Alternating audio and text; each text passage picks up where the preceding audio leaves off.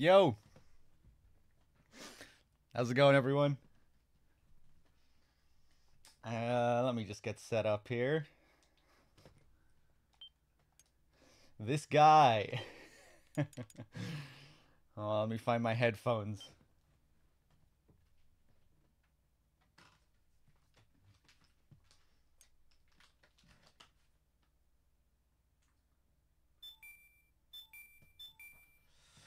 Okay.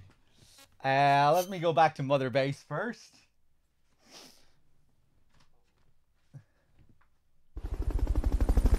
Another day of MGS. Eat, sleep, MGS. Hey, what's up? Connor, Slurm, Pew. How's it going? Hiss Lizard, Chrome. Good to see you all. So we're getting pretty close to the uh, end of Peace Walker, but we still have a bit to go. Second ending. We have to do some Zadornov missions, I think, to get the nuke call. Uh, some other tapes. And whatever other shenanigans we want to do. Optional stuff. Kaz dates, Paz tapes. Maybe some Monster Hunter shenanigans. Um, let's see here. I actually kind of like the way you fight. As much as I hate to say it, it's war that gives us our greatest breakthroughs in science and technology. Let's auto-assign these guys. Hold on a second. Let me just make sure my settings are correct here.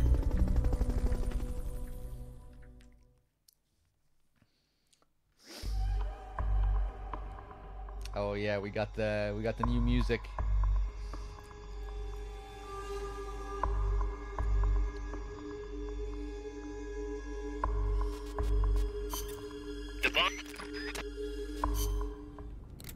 Uh, let's take a look at the files. I don't think DRK did the the Huey letter file, right? Yeah.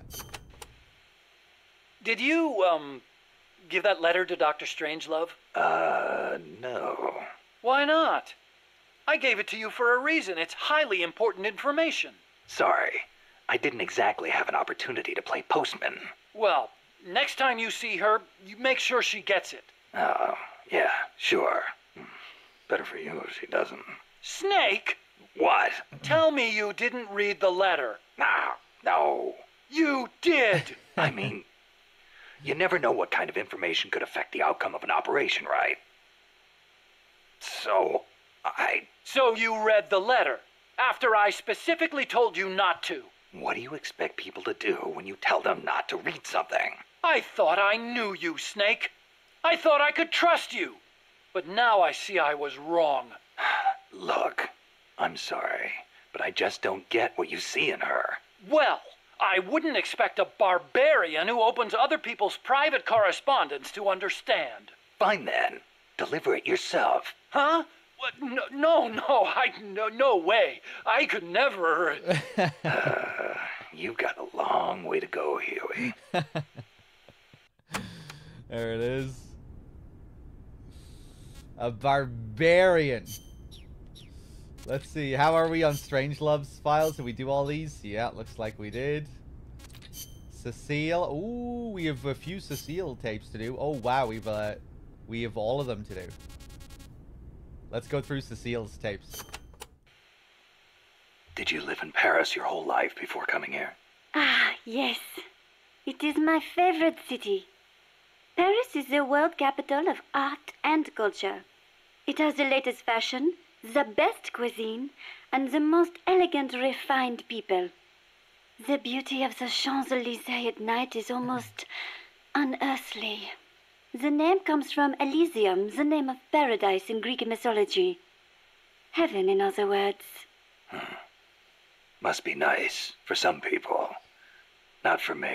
Are you saying the cultured life does not appeal to you? I'm saying I never had a chance to lead one. Not that it appealed to me anyway. You prefer war? I don't like war. Life outside heaven just suits me better. Don't lie, That is a hard way to live. But if you do ever come to France, I will show you around Paris. then you will see what heaven on earth is really like. I don't uh, like war. Uh, hold on, let's go back to the menu. I think it must be uh, in the in-game options, DRK. I think maybe I need to change the the screen layout in-game. Hey, what's up, Wexford? How's it going? Uh, is there a is there a place in game to change the? Oh, maybe there isn't. It's in the start menu. Oh.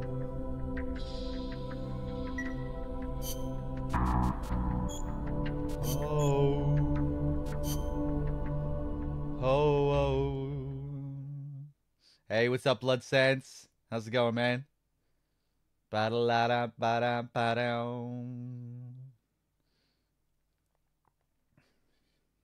It's fine there for the opening logos. but all you can see is uh, black background. Um, extras?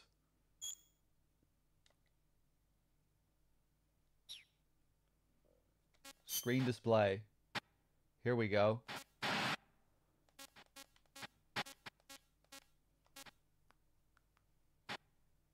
That should be more like it. Although that looks a little bit off on stream. Hold on.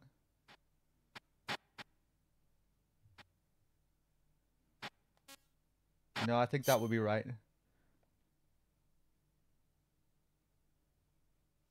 Okay, hopefully that's uh, better.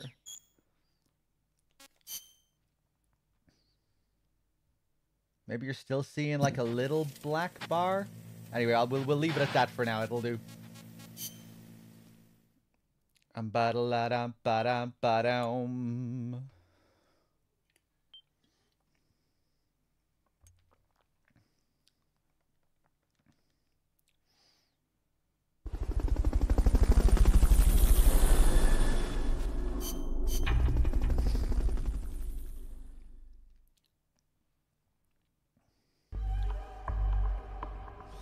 How's it going, Blut? What have you been playing recently?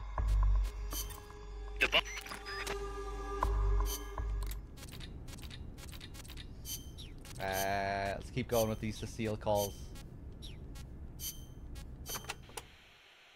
Heaven on earth, huh? The only image I have of France is the Foreign Legion. Ah, that that is how you view France? What do the French think of them? Mm, it is a difficult question. We normally don't think about it so much. Well, critics claim it forces foreigners to take on the most dangerous missions, so French citizens won't get hurt. Mm, you are right. That probably had something to do with why it was created. But I understand that along with service comes benefits, such as French citizenship and permanent residency. Those who join are all given an equal chance, regardless of race, religion, education, social status, or national origin. So it can be a godsend for people from poor countries. A way for the have-nots to live a decent life. I guess that's not so different from MSF. Uh, hold on. These these black bars are bothering me. I think I preferred it the way it was before. I'm going back to change the screen again. I hope uh, this annoying.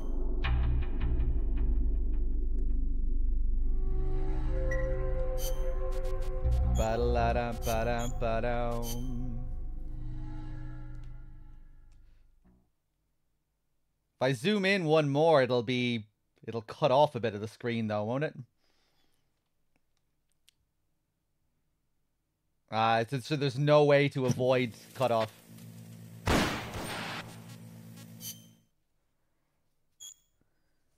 Yeah, I think maybe I, I, I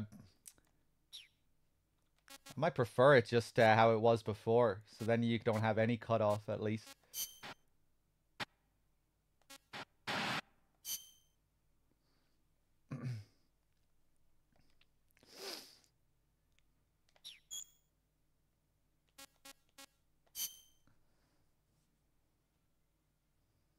Okay, we'll leave it like this for now.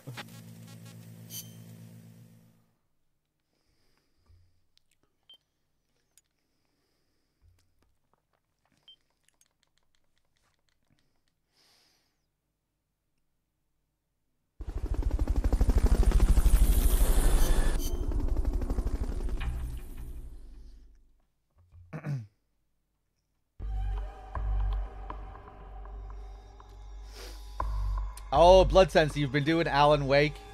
Yeah, people have been wanting me to play that with the new one coming out. I think FIFA is uh, is a fan of those games. A few other people have been wanting me to play it. Uh, let's see. All right, Cecile, we'll fully commit to your tapes now.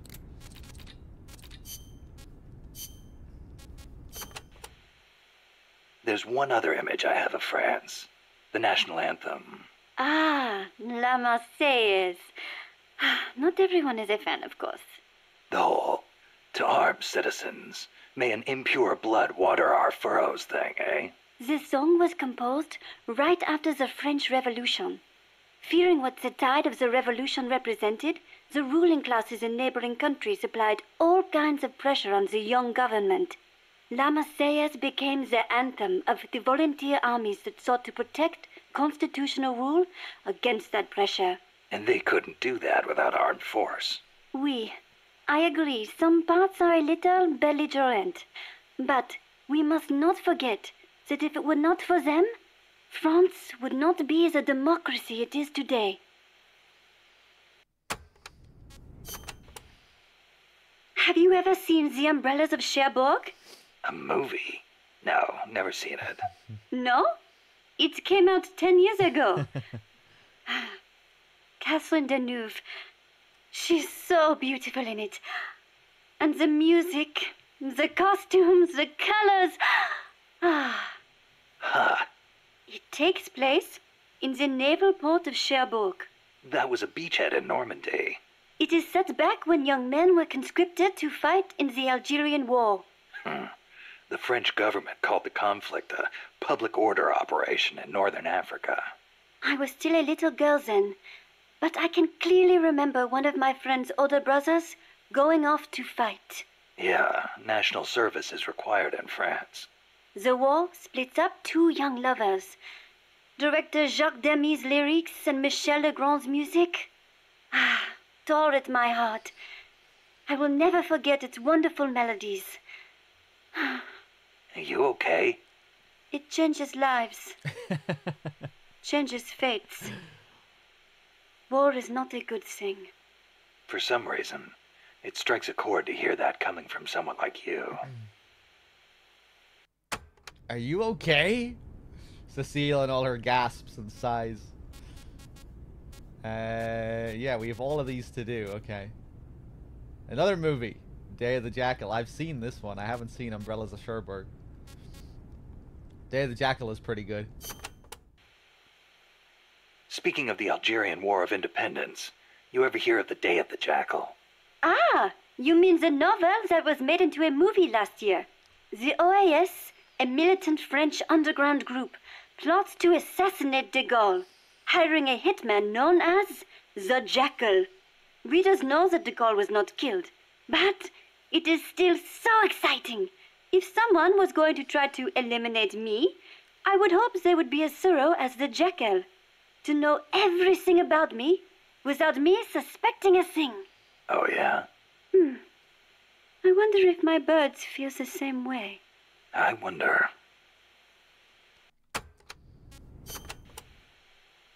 France conducted its first successful nuclear test in the Algerian Sahara in 1960.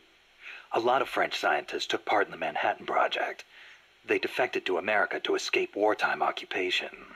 Correct. And once the war was over, they returned to France and continued their own atomic research. President de Gaulle did not want to have to rely on the American nuclear umbrella for protection. thus making France the world's fourth nuclear power. Some say the test success pacified the Algerian rebels. The Civil War was undoubtedly held in check, but never have I equated nuclear weapons with peace.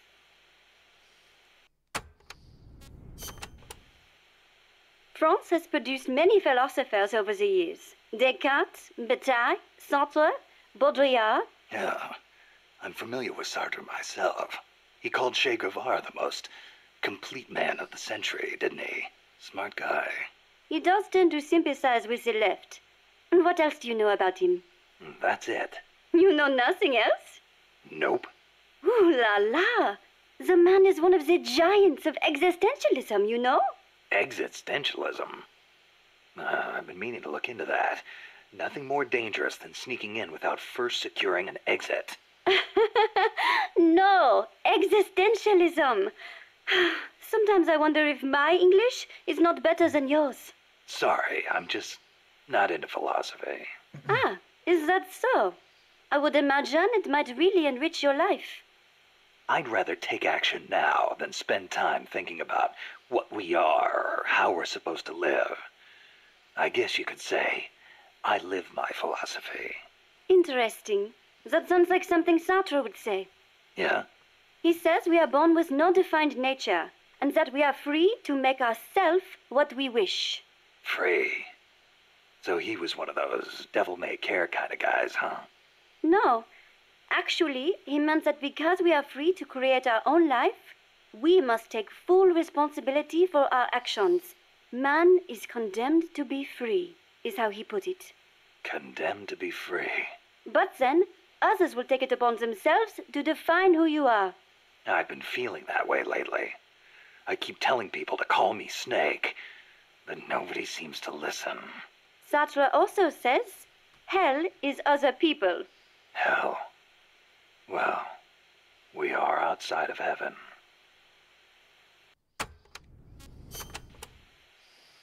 Do you have an interest in the visual arts, Nick? Not really.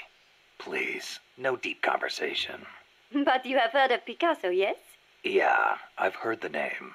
Sadly, Monsieur Picasso, co founder of Cubism, passed away in the south of France last year.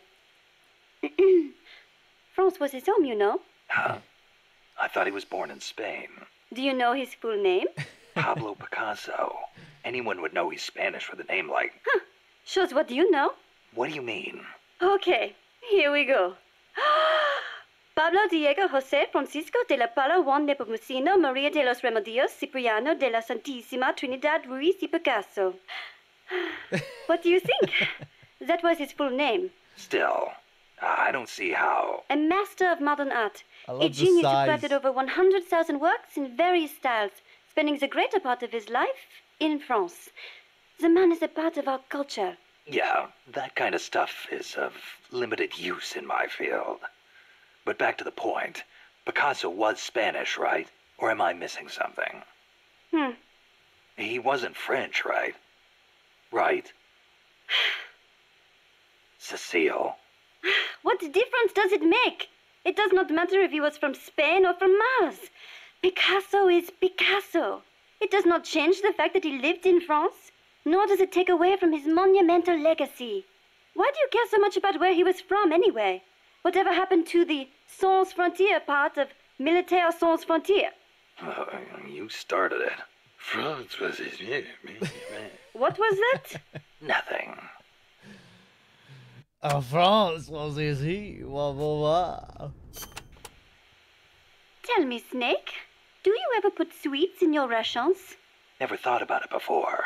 Why? Ah, I simply love them. French sweets are très délicieux. Everyone knows crepes, but there are also profiteroles, eclairs, madeleines, financiers. Then there's tarte tatin, and you can't forget savarin.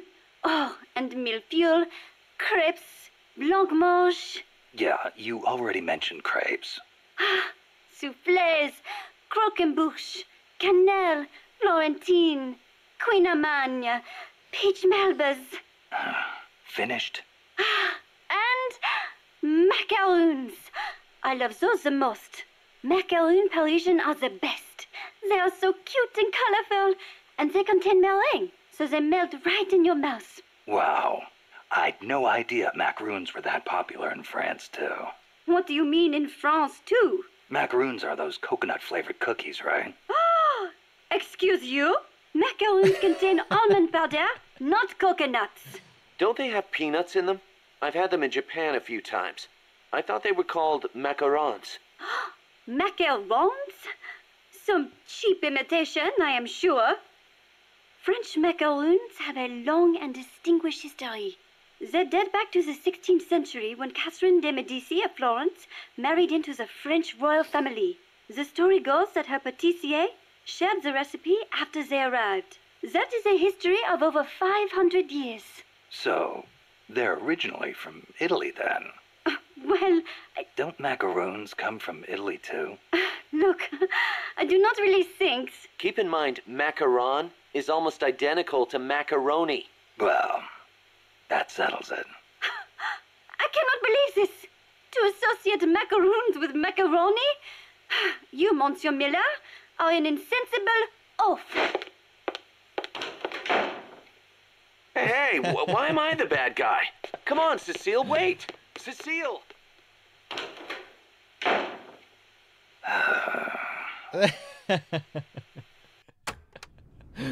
Snake is just left alone. For those of you that don't know, DRK probably mentioned it earlier, but uh, Cecile is based on a real person. Very loosely based, I would imagine. Um, a woman who worked for Konami France, who Kojima became friends with. She was uh, part of the PR department or something. Um, and yeah, Kojima uh, promised that he would include her in his in his next game. So I think a lot of this is par- well partially designed to poke fun at the real Cecile. You know, just creating this uh, sort of extravagant stereotype.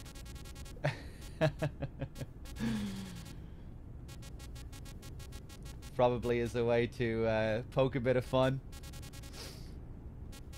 She uh, she still works with him now. Actually, I remember she I remember seeing her name in the credits for uh, Death Stranding. So I guess she doesn't work for Konami anymore. I don't know.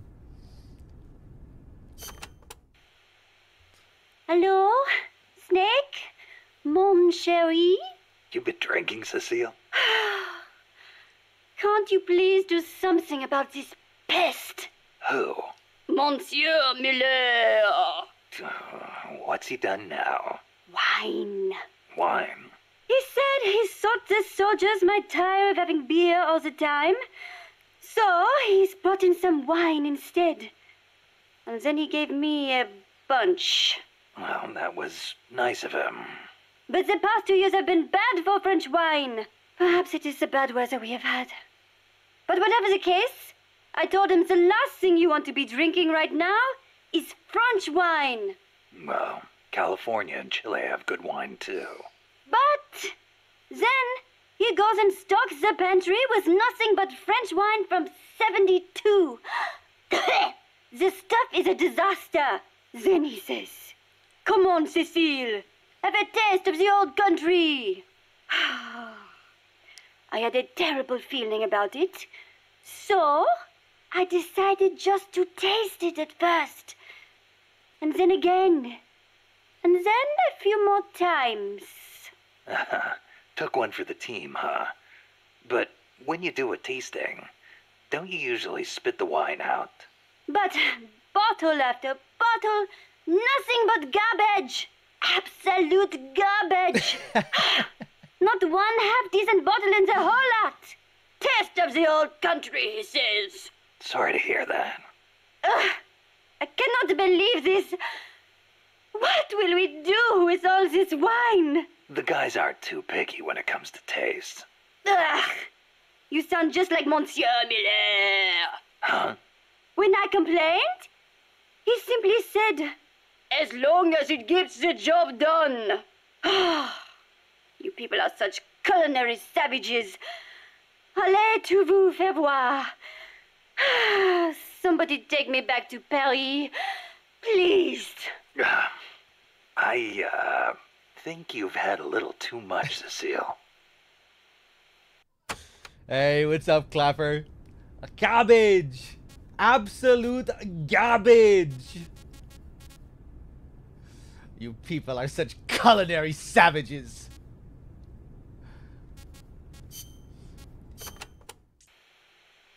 How are you enjoying Mother Base so far?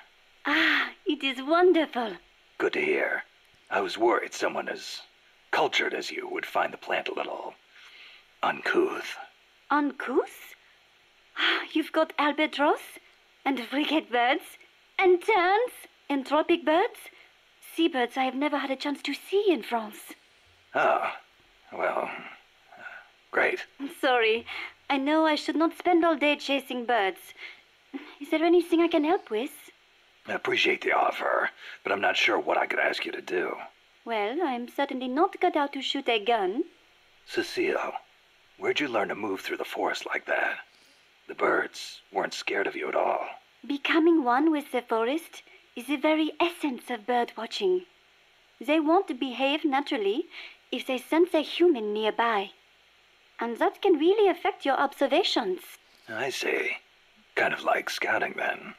I am also good at spotting birds from a distance, tracking them based on the tiniest of clues, and being aware of my surroundings.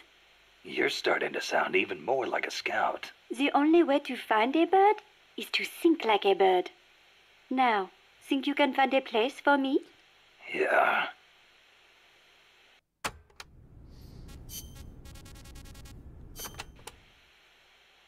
You seem like a very. How do I put this?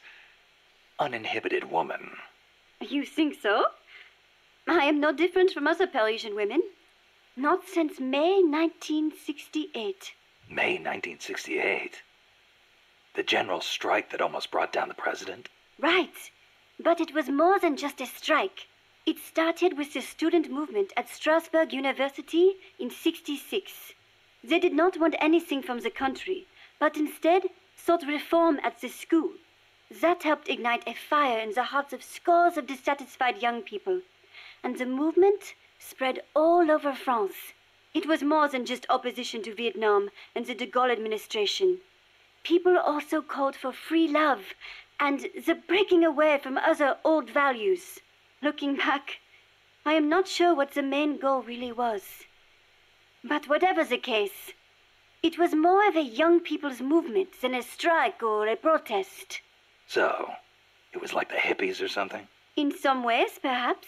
But we weren't blinded by mysticism, nor did we seek a return to nature. I see. So, while they wanted to retreat to their closed communes, We tried to change the world.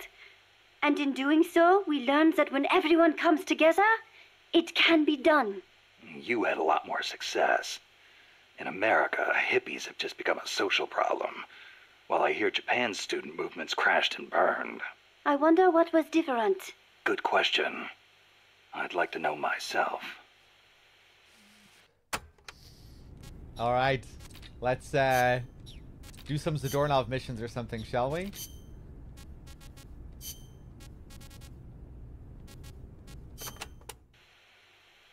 You have taken such good care of me since you saved me from El Colibri.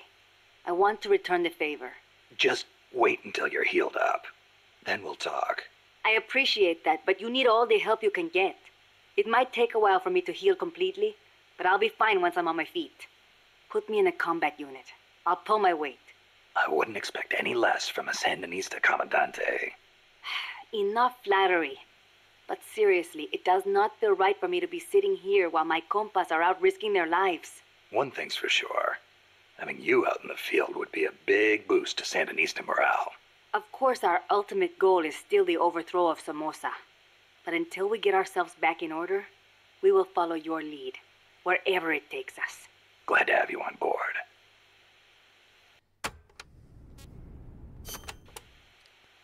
Amanda, you getting used to Mother Base? Yes, it is heaven compared to living in the mountains. We are no longer constantly on the run from La Guardia or mercenaries.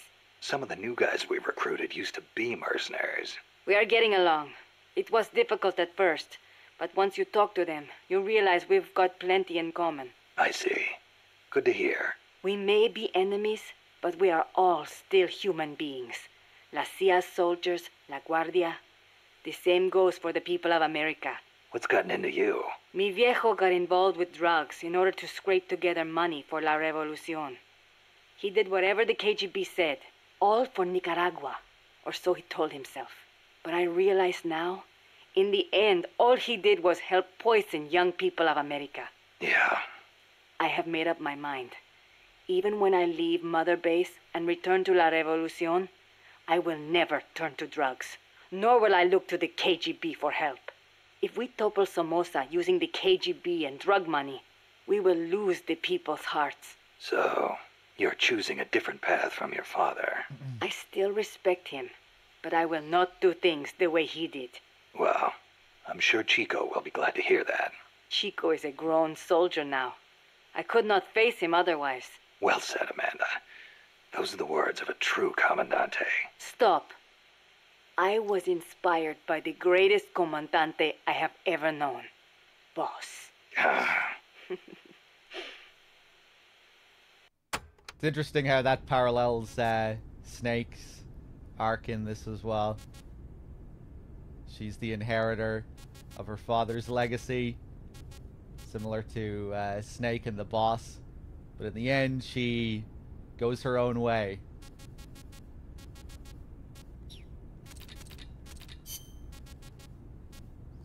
Like, uh, like Snake throwing away the bandana.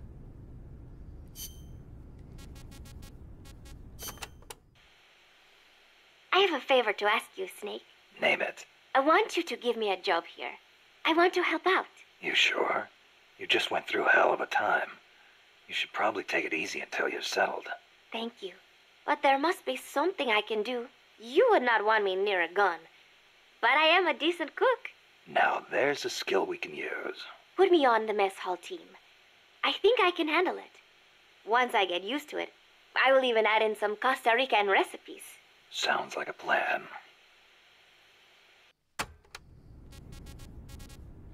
Okay, let's see where we are with uh, main missions.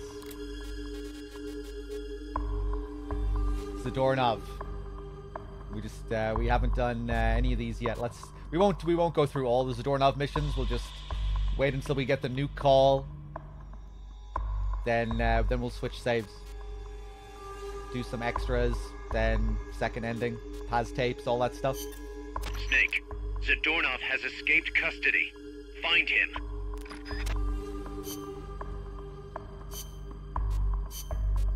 Stealth.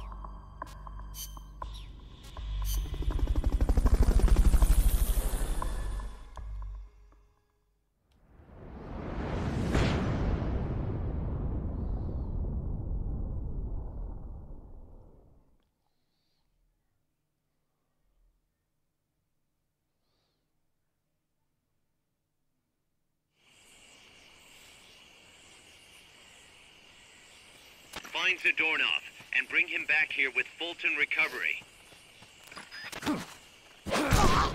Freeze. Always love how these levels look at night. Really nice.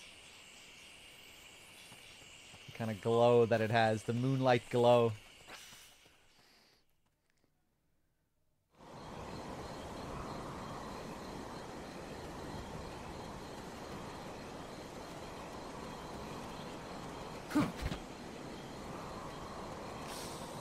Thank you for the kiss, Alex.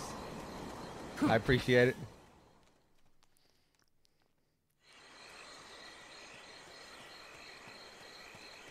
Yeah, Shylane, I would wait until the Master Collection gets patched at least.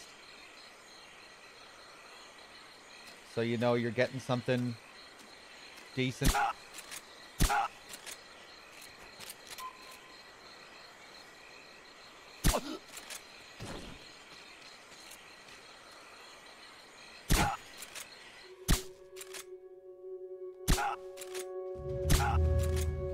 Land a headshot. Thank you.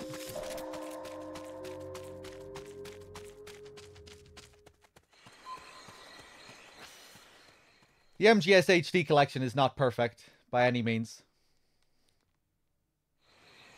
But it's uh, in better shape right now than the Master Collection. But with some patches, the Master Collection might be uh, a better idea to pick up. I mean, you're always going to have those control issues, but on PC with mods, PC with mods is probably going to be the best way to play after a while.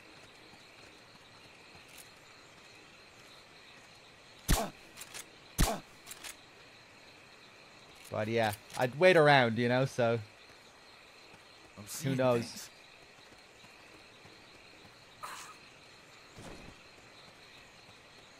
Who knows how long it'll take to get properly patched as well.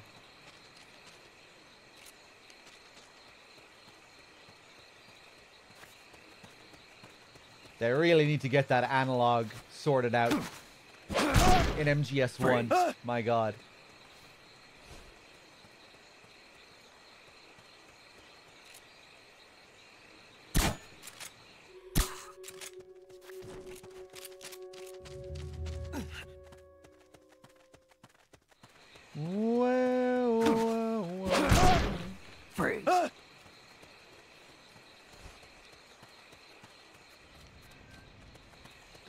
The doorknob ever down here? I feel like the last few times I've played this, he's never been over here.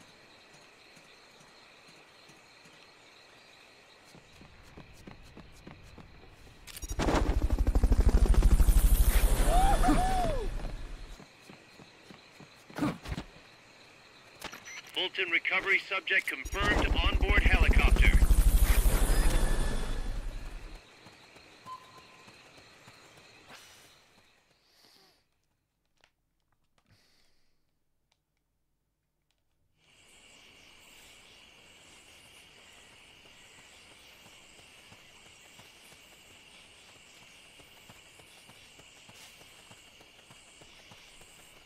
Uh, let's see.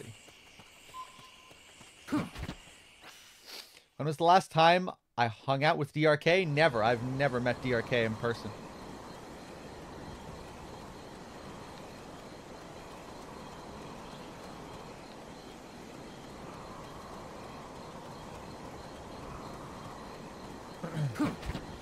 really? Yes. We live uh, far apart from each other. Somebody here.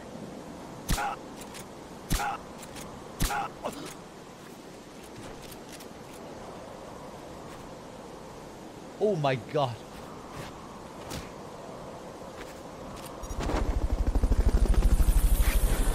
I wasn't actually in that stroller at MGS Con. No, that was all a lie. Fulton recover.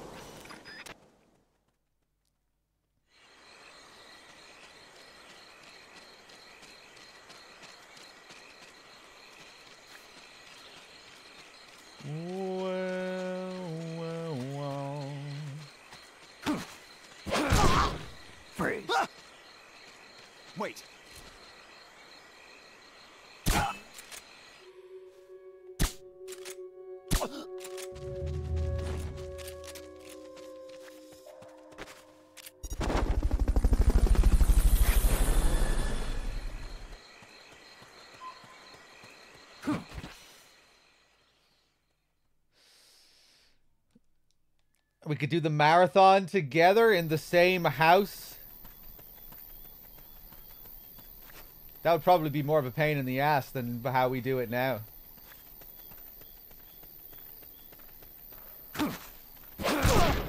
Freeze.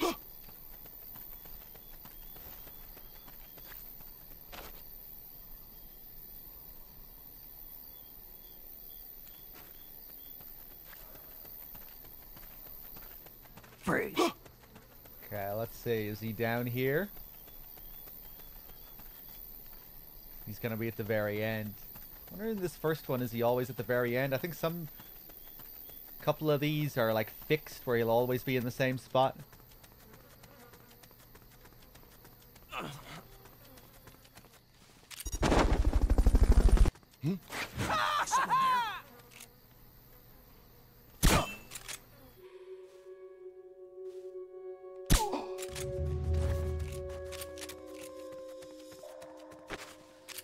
streamer houses are a thing, right? That's what all the millionaire streamers do. They get streamer mansions. Fulton recovery helicopter is complete. Freeze. Here he is.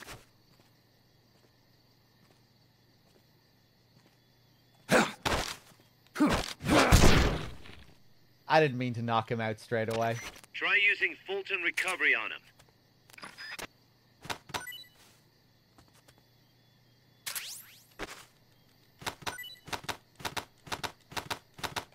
We can't wake him up.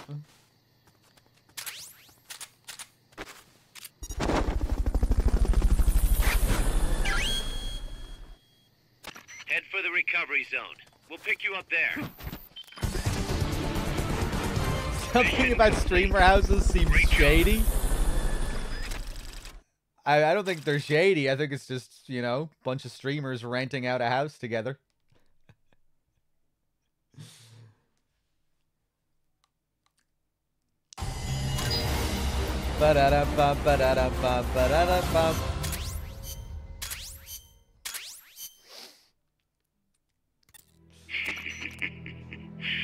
So It sounds kind of messy to found me. It wasn't hard. What are you up to anyway? Just going for a stroll. Kaz, I've got Zadornov returning home. Acknowledge, Snake.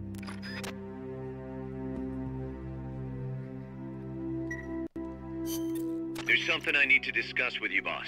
Get to the point, Kaz. We recovered the nuclear warhead that was loaded onto Peace Walker from the bottom of Lago Cocibolca. What? Warheads are radioactive, even if they're relatively stable. If we just left it there, it would contaminate the lake, or fall into the hands of terrorists.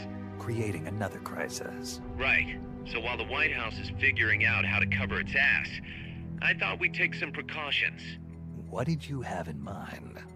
Load it onto Zeke. What? What else would we do with it? Zeke is our deterrent. To protect ourselves from nuclear attack, we need a nuclear weapon ourselves. Ah, Of course, if you're not on board, we could always dispose of it. But it won't be easy getting another nuke. This is a golden opportunity. We could always get rid of it later. Load it onto some fishing boat and leave it out in the middle of the ocean. No one would ever know it's there. But if you want to get rid of it, boss, we'll get rid of it. No. Don't. As long as there are nukes out there, we need one ourselves if we're going to be a world power.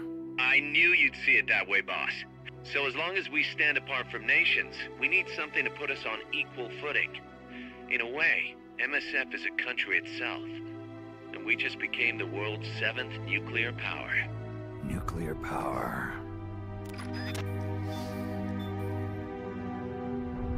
Ah, I'm sure it'll be fine. It's all gonna work out fine. Okay, I guess we'll switch saves.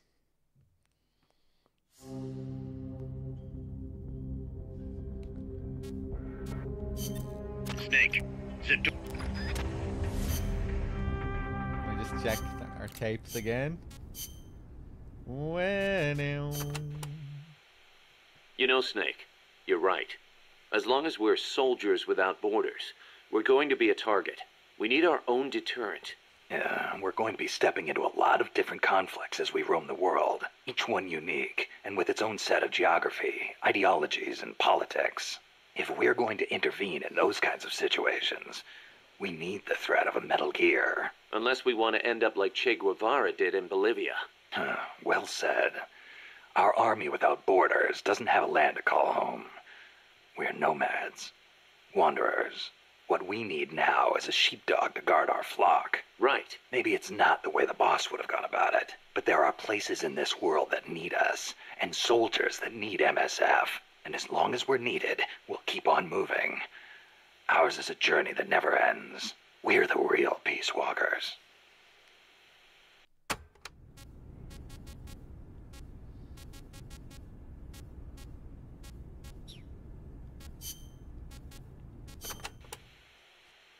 The new plant is a hex type. That gives it more surface area than previous types, and also makes it easier to plan expansions. We're gonna make this place huge. Hex, huh? Like a beehive. Nothing wrong with that. They say the honeycomb design is one of the strongest. I hear they're even thinking of using it in tank armor. Good enough for me. I'll see about finding us some worker bees. Appreciate it, boss. By the way, Kaz, who do you think's our queen bee? Good question. I was thinking maybe Paz. Hmm. I was thinking Strangelove. Well, I can see that. Or maybe Cecile. On second thought, I might go with Amanda. How about this, Snake? We'll have an army of queen bees. Sure. Why not? Okay, let's switch.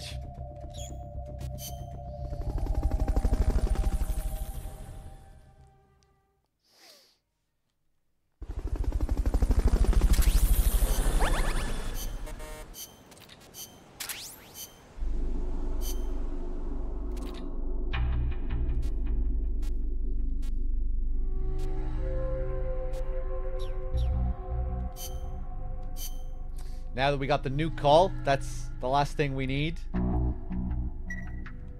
from new game. So now we can switch to our completed file where we have all the other stuff unlocked.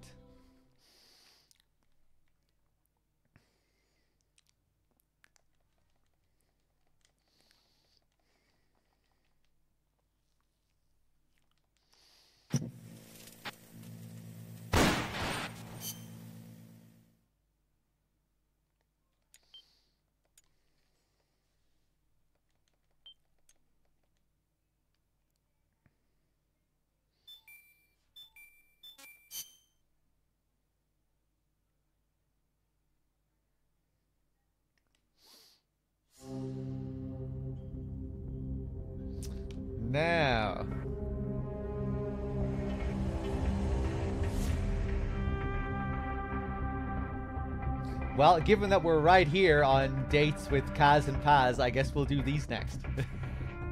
then we'll go through the Paz diary. Snake, the sunsets are so pretty here. Are you feeling okay, Kaz? Yeah, I mean, I've got MSF business to think about and all. But sometimes it's nice to just sit and watch the sunset, you know? Ah, yeah. Snake, um, would you be up for going to the coast to watch the sunset? Just the two of us? Let's do it.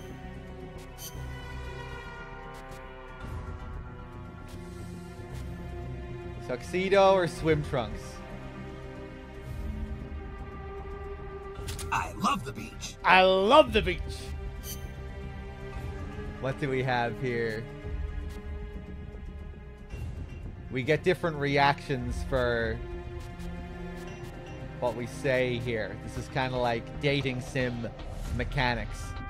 There's an affinity system. If we say the right things, we get more points with Miller. The more points we get, the higher rank we get. So if you want to get a higher rank, you need to say the right things.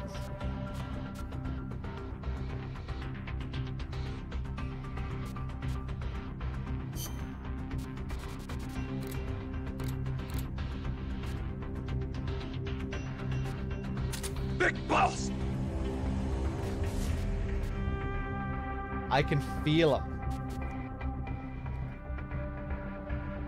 Guess it's time to launch some fireworks. You dish it out. I can take it.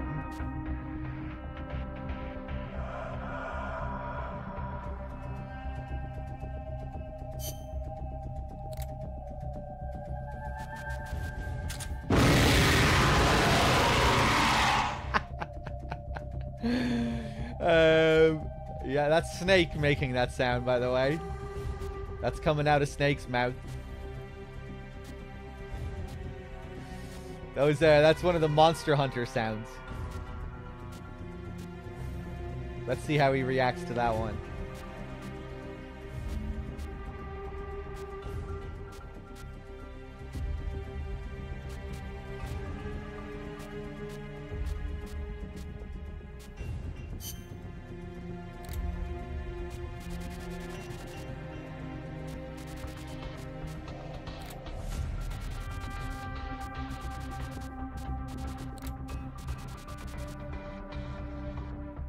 I'll be sure to notify your next of kin.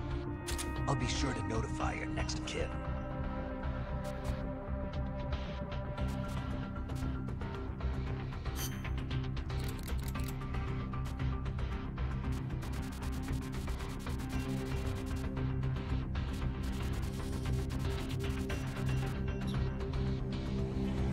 Yeah, I remember the Paz one. She she says how she comments on how she doesn't have any family or something like that. She gets sad.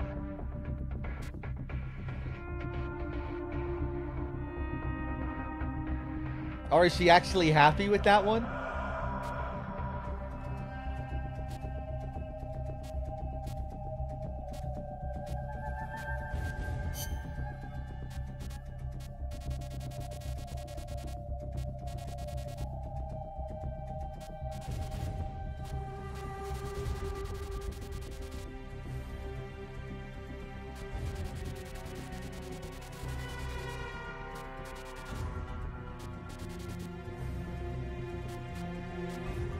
Feel the power within me.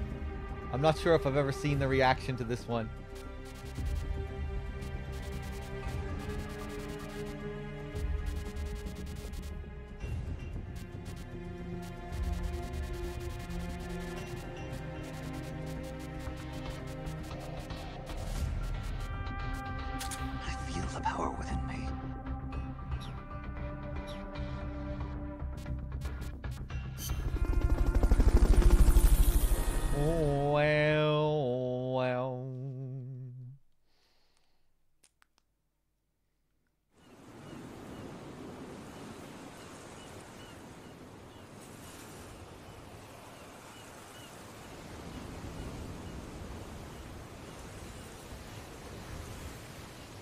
I'm still planning on doing Silent Hill 2 on Halloween, yeah.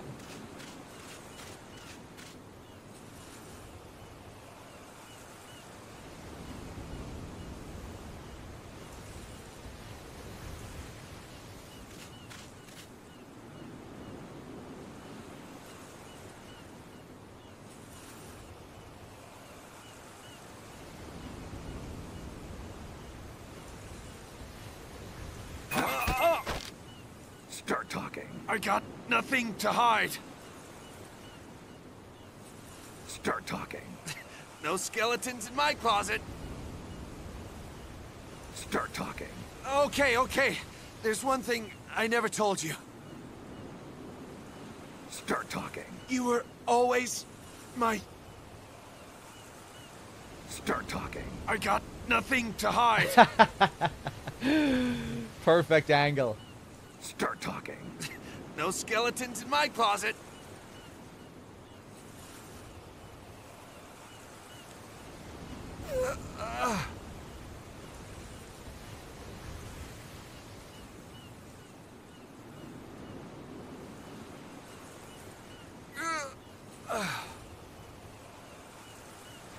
Damn, it takes a while to choke him out.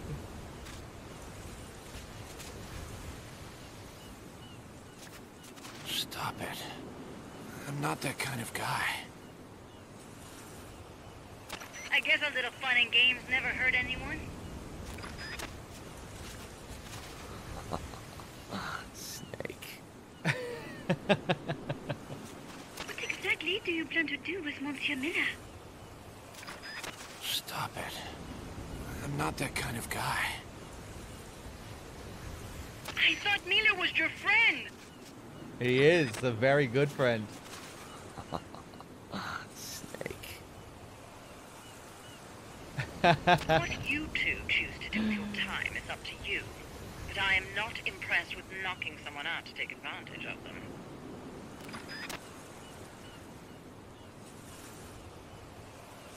Yeah, you just take advantage of them. Strangelove. Stop it. I'm not that kind of guy. I don't think I'll ever understand you two.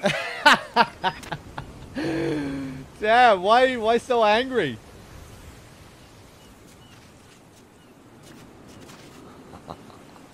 Snake.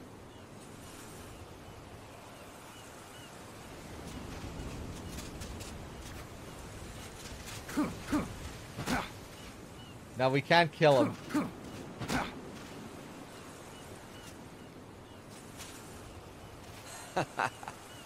he likes it. He's happy. I've been waiting for you.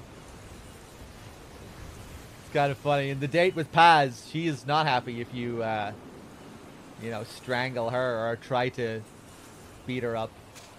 She's not thrilled at all, but Miller loves it. I've been waiting for you. We can even break his glasses if we punch him enough. Whoa!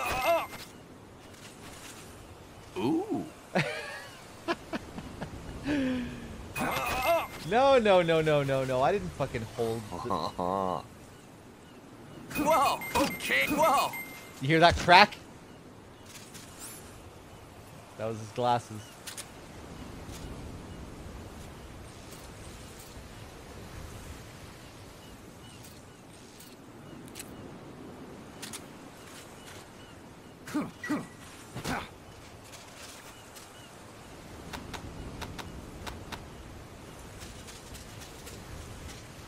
Still happy? Yeah, it's pretty easy to get the high rank with Kaz. He's he's happy about a lot of stuff. Every time we get one of those hearts, our our affinity increases.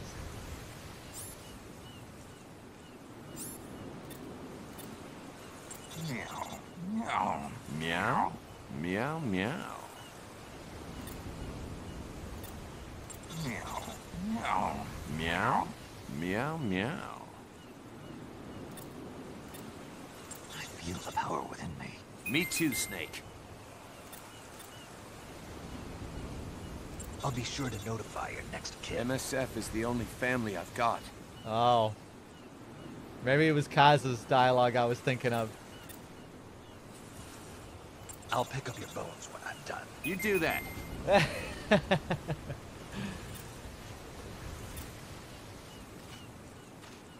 You dish it out. I can take it. Okay then.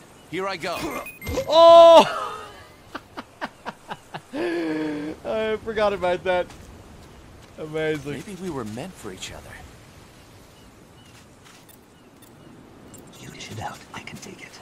Okay then. Here I go. You dish it out. I can take it. Okay then. Here I go. Well, I want to see if we can trade. You Nice dish it out. I can take it. Nice okay then. Here I go. Fuck. You dish it Need out. a I can heaven take snake. it. Whoa! You dish it out. I can take it. You dish it out. I can take it. Okay then. Here I go. I give up. I've been waiting for you. Missile! Yeah, I don't think we'd survive that. Ah, oh, nice. There's so many unique reactions to these uh, lines. Rocket piece! You, you're kidding, right?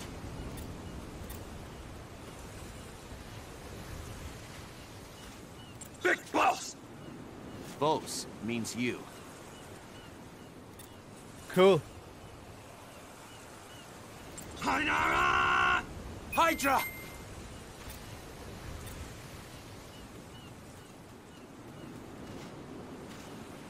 I can feel him. I'm feeling your vibes, boss.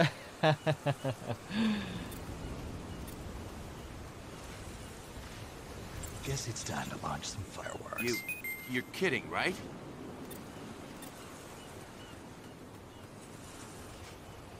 Kept you waiting, huh?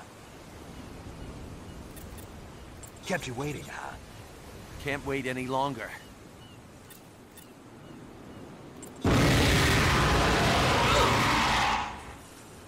Yeah, and if you do the Monster Hunter scream, you knock them back. You blow them back.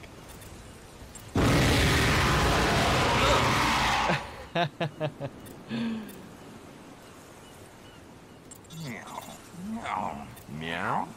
Meow. Meow. You dish it out. I can take it. Okay then. Here I go. And once your affinity gets high enough, he will even pose for you. B&B style. Maybe we were meant for each other. Make sure you get a good shot of my muscles.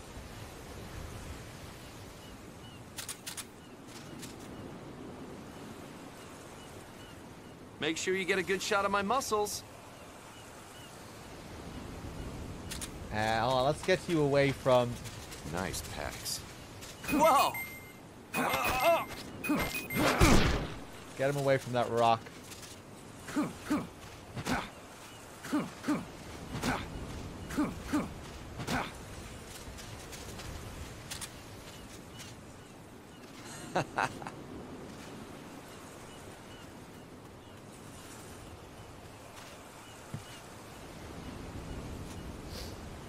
Make sure you get a good shot of my muscles.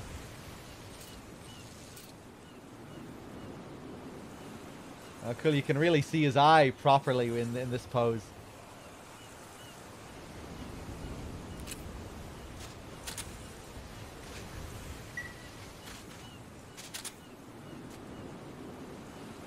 Make sure you get a good shot of my muscles.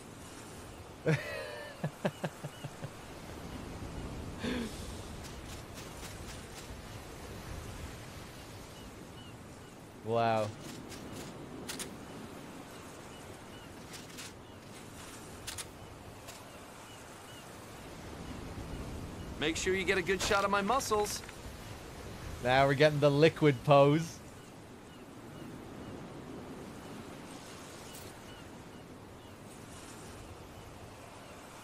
Love the, the dramatic sound effects as well, the clenching of the fist.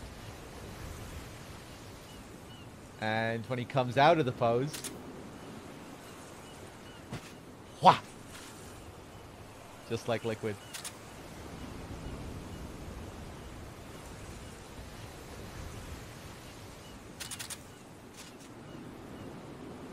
Make sure you get a good shot of my muscles.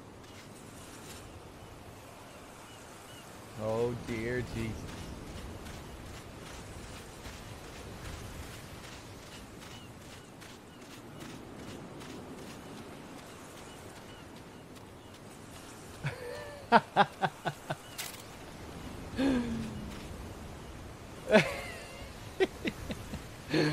what a pose.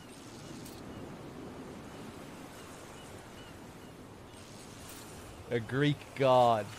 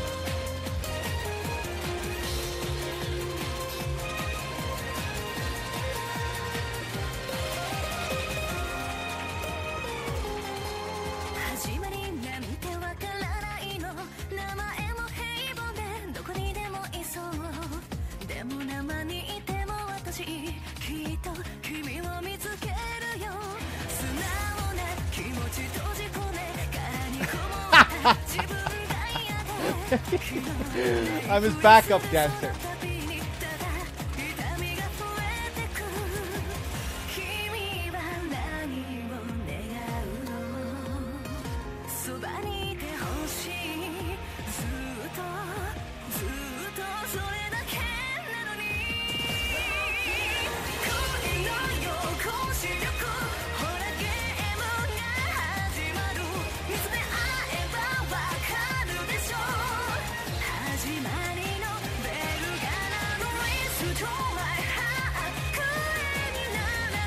What's your problem?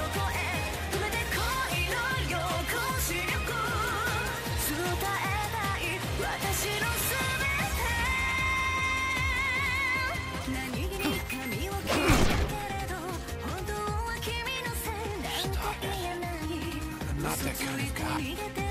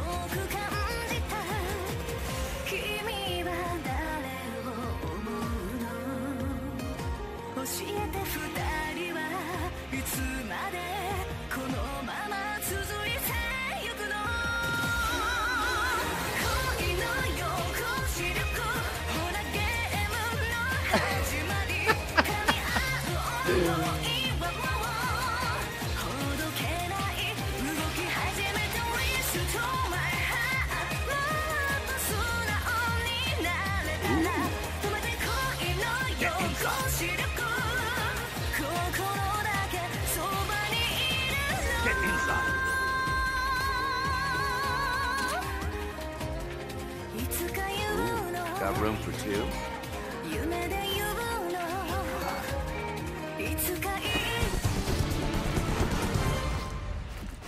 Glad to be with you, boss.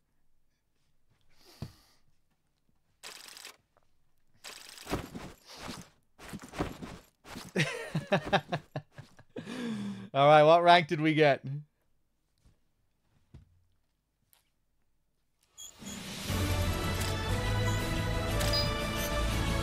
S rank, of course. It's very easy to get an S rank with Kaz.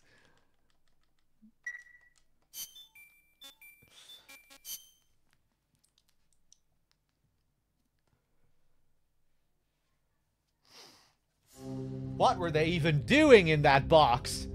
God only knows. It's a mystery. How's Paz doing? Okay so far.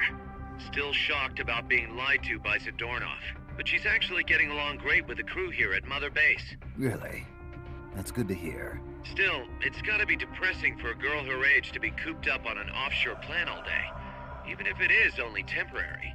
I bet she'd love it if you took her out somewhere once in a while. Uh, we go in with the uh, with the swim trunks again. I love the beach. I love the beach.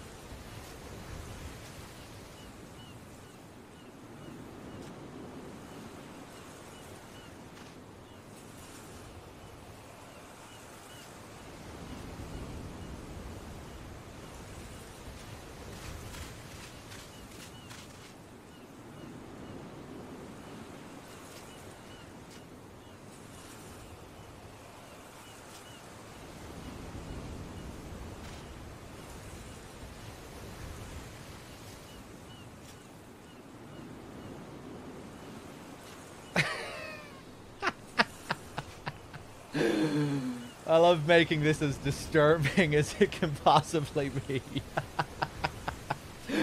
Fucking Michael Myers here.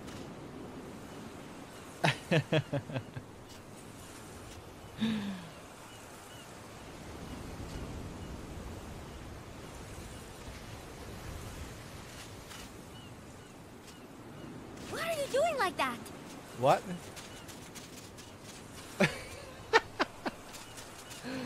oh, then she stops once she gets a certain distance away.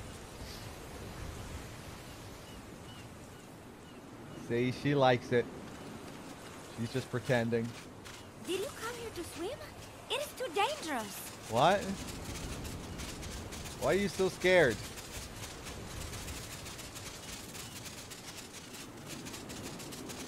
What are you doing?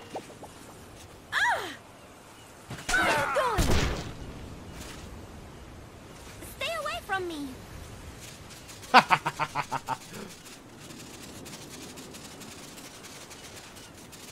I'm gonna get you. Ah, no place to hide. I'm gonna get you. Huh? You got quite a bite. See? You can't deny it. Admit to your true feelings.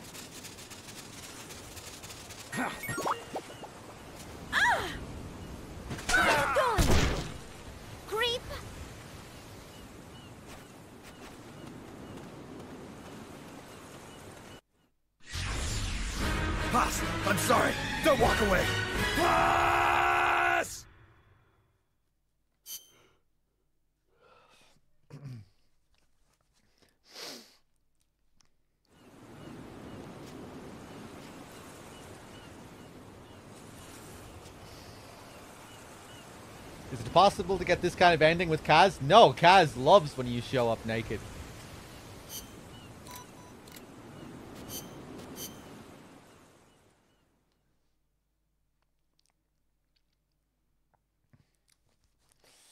Uh, if we show up in a tuxedo, Paz will not get upset.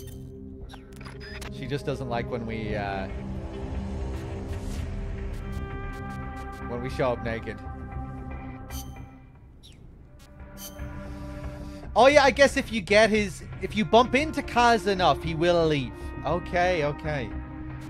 I'm not sure if I've seen that before, actually. Maybe we'll go back and do that.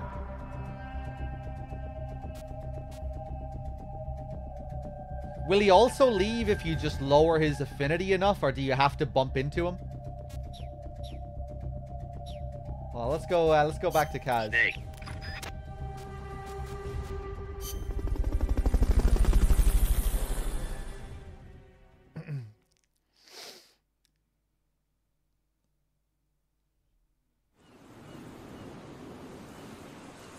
Bumping is the fastest way. Okay.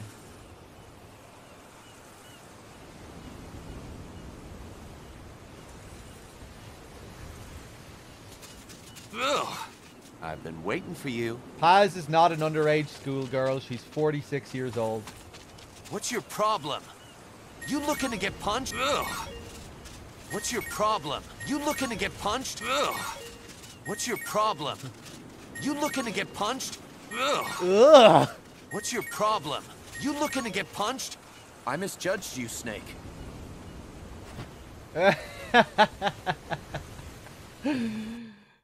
Kaz! Hey, Kaz, come back! Kaz!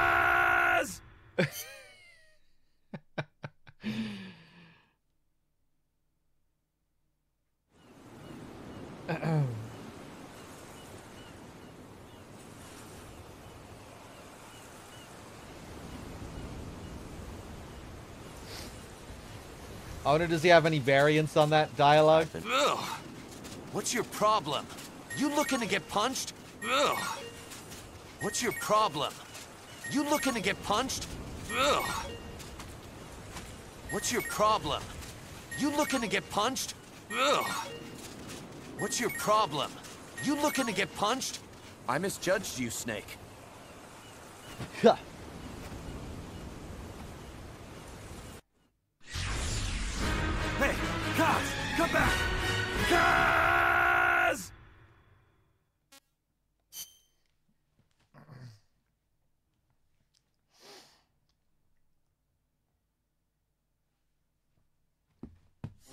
Okay, let's do a proper date with Paz.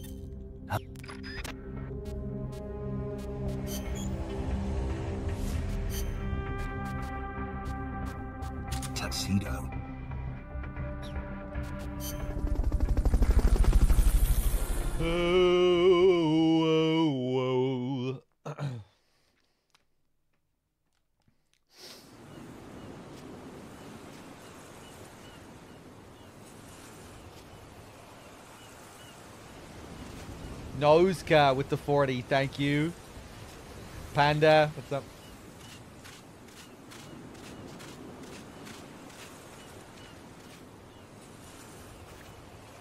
What's with that?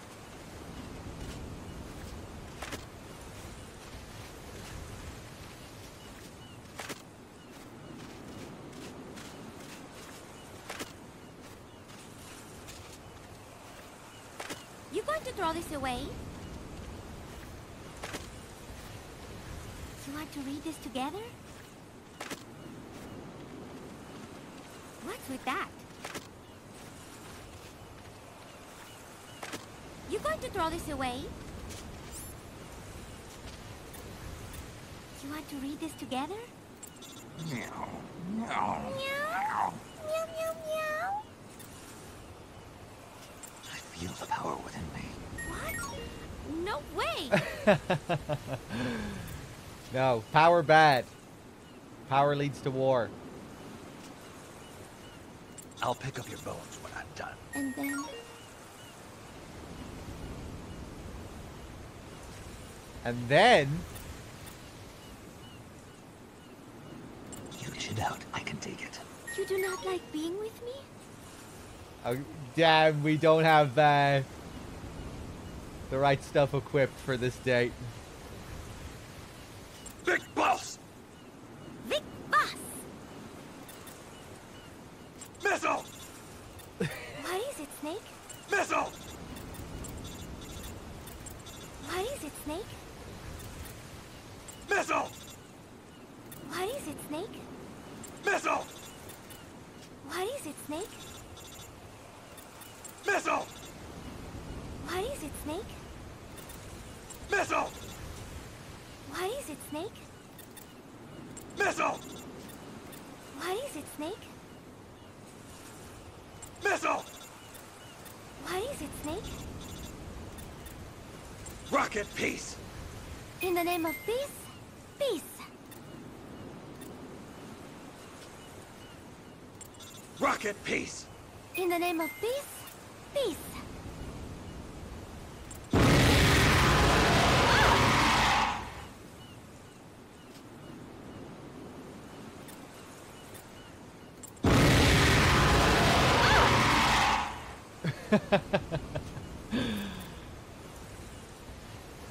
Kept you waiting, huh? No, it is okay. Hainara! Hydra! Hainara! Hydra! Uh, we can't knock Paz out, can we?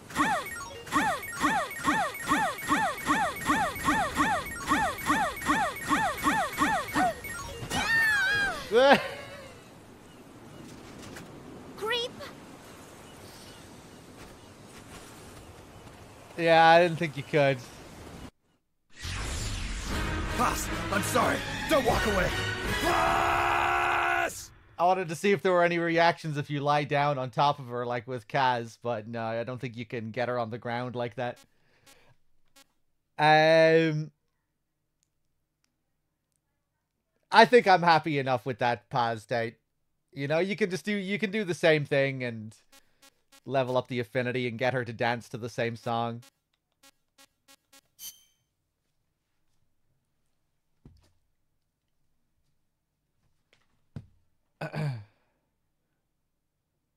Oh, you can get her to sleep with the correct voice line.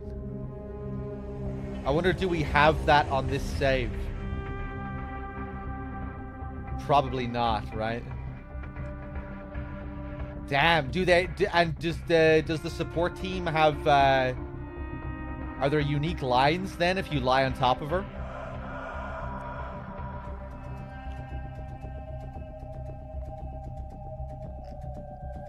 Oh my god. I don't think I've ever seen that.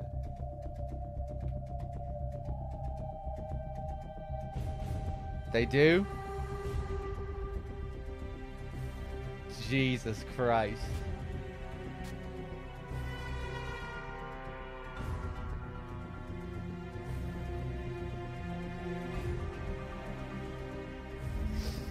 Some other time.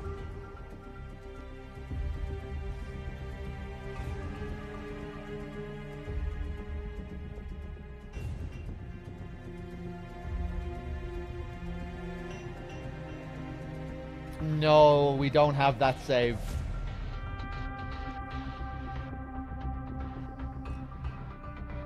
Alright, let's do tapes.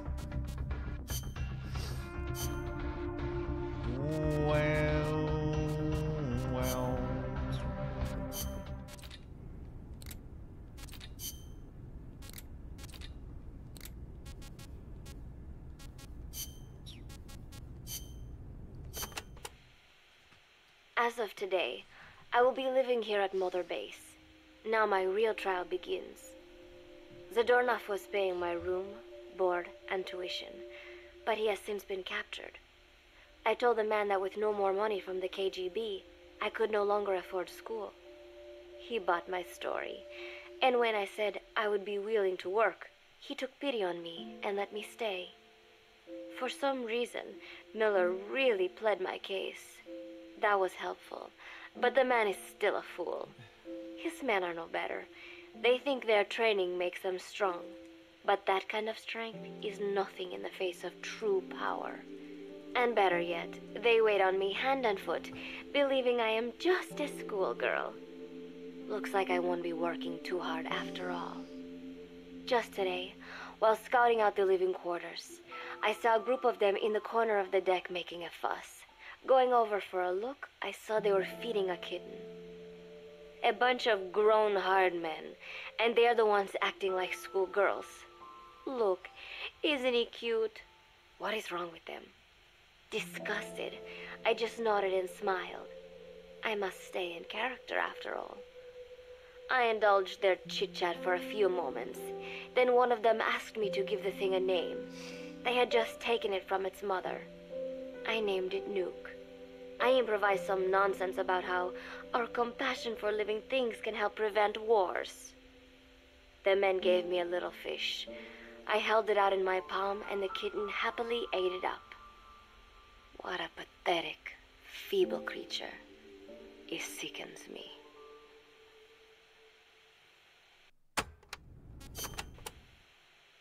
Today, Chico invited me to go fishing with the soldiers. I suppose finding one's own food does have its merit, but I prefer not to be involved in such a degrading task. And their prattling on about fishing being fun is nonsense. I'm not here to find playmates. Nevertheless, distasteful as it was, I went along in order to maintain my cover. Chico thrust a fishing pole into my hands, and we went up onto the deck where several soldiers had gathered. They welcomed us warmly. With so few women aboard Mother Base, I'm treated like a princess.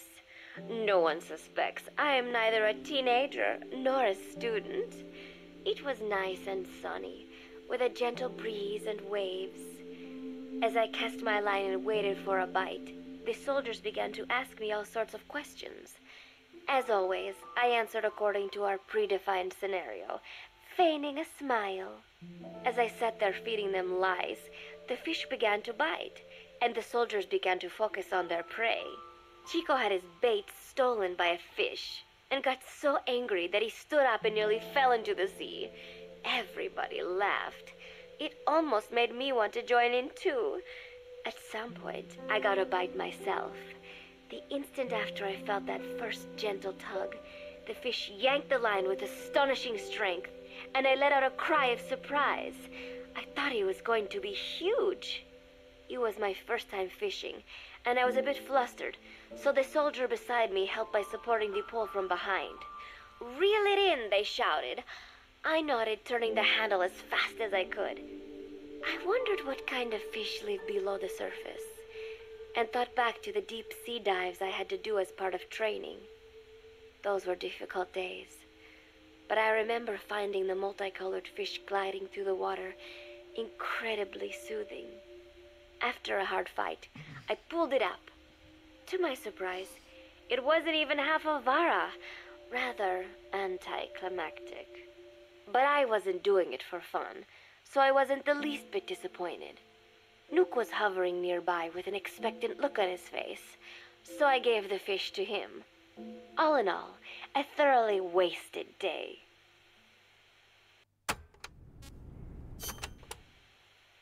Preparations are coming along nicely. No one suspects me of being the one to let Zadornov out of his cell. Today, Amanda and I taught Cecile how to make gallo pinto. It is a simple home-cooked dish consisting of black frijoles mixed with arroz. It is well known throughout Central America, not just in Costa Rica, so it is no surprise that a Nica like Amanda would be good at making it. But I was raised in the States from a very young age, and can hardly even remember my mother's gallo pinto. Having to make chit-chat with that clueless bird lover and the so-called revolutionary was excruciating. And, clueless or not, I will need to be especially careful around Cecile, the one who actually recorded that tape. Thankfully, Miller and his men seem to believe I mistook the tape I found for one my friend made.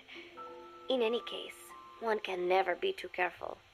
Anyway, the three of us minced garlic and herbs, then cooked them in a pot with frijoles we'd soaked overnight. While waiting for them to cook, we sauteed onions and arroz in a frying pan. Cecile worked the frying pan according to Amanda's directions, but seemed a bit glum. She does have a knack for cooking, though. She is French, after all. We added water to the pan and watched the arroz begin to steam. While we waited, Amanda shared memories of her mother with us. They had been separated because of Somoza, but the taste of her mother's cooking was still fresh in her mind. When the frijoles were ready, we drained the water, stir frying them with the rest of the vegetables. Quite a complicated process for home cooking. Nonetheless, it kept them occupied. The longer we sat and talked, the greater the chance of my arousing their suspicions. With women, it is not enough to just bat your eyelashes and giggle. It takes a lot of effort to divert attention. When the arroz was done cooking, we folded it into the frijoles and added salsa, stirring the mixture as it simmered. At this point, for some reason, the conversation turned to romance. Why does it have to be that way whenever women get together and chat? Cecile fancies herself to be well versed in such matters and gave Amanda all sorts of advice. It was harmless enough until, to my irritation, she began pestering me whether there was anybody I liked. Not right now, I said, trying to dodge the question. But she pressed on. It's Snake, isn't it? I gritted my teeth and played it coy. Maybe. Cecile nodded and giggled. He is pretty sexy, isn't he? What a ditz! It's all I can manage to just survive. The thought of romance has never once crossed my mind. I have no interest in that kind of man. Soon enough, a rich aroma began to fill the room. The gallo pinto was ready. New came over and rubbed up against our legs, looking for a handout. Unfortunately, it was not the kind of food a cat would like. We let a few of the soldiers have a bite, and then headed off to the mess hall. The home cooked flavor we'd achieved was a big hit with the men of MSF. Not that we are trying to impress them or anything. Even I could manage a dish like that. Snake enjoyed it too. Let me make this absolutely clear. I have no interest in that man.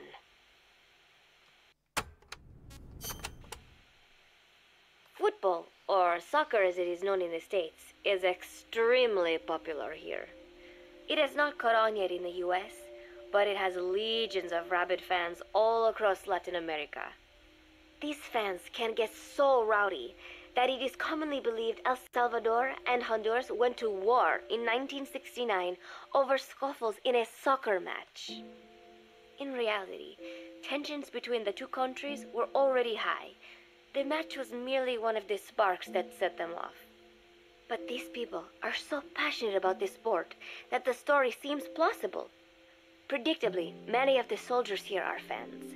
They have apparently divided themselves into Costa Rican and Nicaraguan teams and started playing each other. To play, you need a ball and two goals. The R&D team built and set up simple goals on the deck. I had absolutely no interest, but Chico insisted that I come and watch. It was not a proper match by any means. The pitch was not even regulation size, but the players and spectators alike got pretty excited. They banged empty cans and shouted cheers through the handmade megaphones. It almost felt like carnival. Huey, the referee, blew a whistle to start the match. The soldiers' training has left them in excellent physical shape, but they lacked the honed skills of professionals and their play was quite rough. Midway through, one of the men collided with another. They started shouting at one another, but Huey stepped in. I thought we had forsaken our countries, become one with the earth, he said, quoting Snake. We are not competing for national pride here, and we are not fighting for the good of any one country. This is not a war. Soccer is a peaceful sport, am I right? The soldiers nodded. They know the pain of war, and they share Snake's vision. Perhaps that is why all this resonates with them.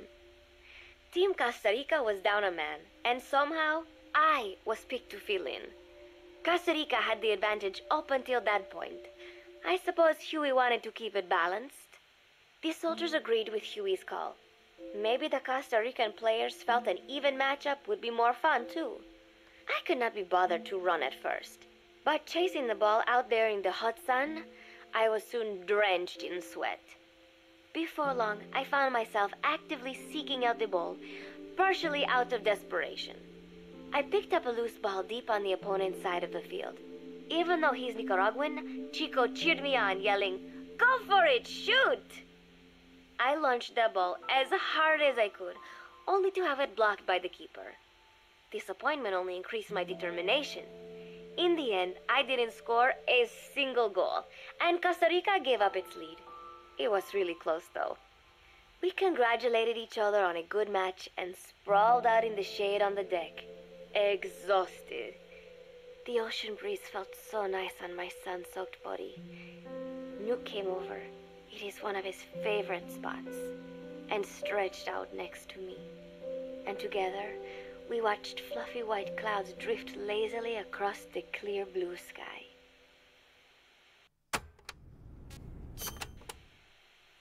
It was lovely out today, so I decided to sun myself in a lounge chair up on the deck when Strangelove came up to me. Despite the heat, she was in her usual long sleeves and pants. I waved at her. She looked away and mumbled, Hello there. Fancy meeting you here. I asked if she needed anything, feeling her eyes creeping up and down my body like she was savoring it. Finally, she swallowed and said, You have such beautiful skin. Bewildered, I shook my head and said, No, not at all. I had heard rumors that she was a lesbian. But she couldn't be after me, could she? She continued to stare and said, No, it is beautiful, but you must not let yourself get so tanned. And then she took my hand in hers. What is wrong with a little sun? I asked, trying to cut the conversation short. But she shook her head violently. No, you mustn't. A young lady should take better care of her skin. She was acting strangely now, as if aroused. She lectured me on the perils of tanning, how it ages skin, causing wrinkles and spots, and in the worst cases, even skin cancer. I knew already that tanning could cause spots, but I thought only pale skinned Anglo Saxons had to deal with that. Having a scientist tell me it causes aging, though, that spooked me a little. If I am to keep playing the teenager, I will have to start paying more attention to my skin. Sensing my anxiety, she took a small tube from her pocket. She said it was the sunscreen she always used. She told me to keep it. I didn't know what to say. I was more than happy to take it, but exactly what were her intentions? Was she merely being nice? Or is she really into me? Either way, there was no reason to refuse, I suppose. I have undergone training. An out of shape woman does not pose any real threat to me. Having power means not being afraid. It is the same on a global scale. A country with nukes can dictate terms to a country without them. I thanked her and took the tube. Then she offered to put some on for me. She squirted some lotion onto her fingers and began rubbing it into my chest. It happened so suddenly, and I was so taken aback that I did not even think to protest. She caressed my stomach with her long white fingers, then slid them upwards between my bikini clad breasts. What? Wait, I sputtered as her moist eyes met mine. She was beautiful. Somehow, I found myself captivated by this woman more than ten years my elder. Hold still, she whispered in my ear. I nodded silently, unable to refuse. My body went limp, motionless, as if in a trance. Gently, carefully, she rubbed the lotion all over my entire body. I shouldn't have enjoyed it, and yet I could not help myself.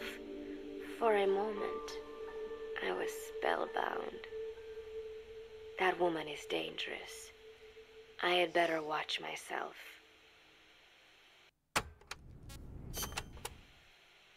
Protecting one's health is an important part of any agent's job. But despite my best efforts, I have caught a cold. Now that I think about it, Mother Base's numbers are on the rise, with soldiers coming from all different places and backgrounds. It is no wonder then that sooner or later someone would bring in a virus. That said, what I have got is just a common cold. The medical team said I'd need a few days' rest, so I've been restricted to my room and put on bed rest. I thought I'd gotten used to not having anyone around to relate to, but at times like these, being alone is just miserable. All I could do is lay there and stroke Nuke's back, trying to take my mind off how bad I felt. Nuke just sat there, not making a sound. But I did have visitors Amanda and Chico, Huey, Cecile, Miller, and a few of the soldiers I've become relatively close to. Amanda made me a soup with herbs she said were good for a cold. Miller told me to take it easy. I will sing you a lullaby, he said, then broke out a guitar and sang some incomprehensible song in Japanese. I did not need to understand the lyrics to know he is an awful singer. Then he said, You know what is good for a cold? Suppositories. Here, I'll show you. He began to take off his pants, so I threw my tissue box at him to make him go away. Then Strangelove showed up, saying she had some miracle Indian cure. It has got eucalyptus extract, she said. It works best if you rub it into your chest. And then she tried to take off my nightshirt. I whacked her with my pillow, and I got rid of her. Chico brought me a little flower in a cup. It had been growing in a little bit of earth that probably found its way on board stuck to something else. I found this on the deck. Here, you can have it. He tried to act nonchalant, but I am pretty sure he's got a crush on me. None of them understand. If they thought these little visits would cheer me up, they were wrong. Tonight, Snake himself came to my room. Like the rest, he believes I am just a schoolgirl and treats me as such. Why did you abandon your country? I asked him. Why create the MSF? Of course, I knew the answers already, but I wanted to hear it from him. As I had imagined, he was not exactly forthcoming. All he would say is that his country abandoned him because all he could do was fight. And that is why he needed the MSF, because that is all he is any good for. Then he said, Fighting is the only thing I understand, but that does not mean I have got a grudge against those who believe in peace. I am not one of them, and I do not believe in peace. Conflict is in man's nature. We fight our enemies in order to survive. Maybe we are not so different after all, he and I. But that is exactly why I'm going to have to kill him. Or else he will have to kill me. When I stop and think about this wretched existence, being killed by a man like that suddenly does not seem like such a bad thing.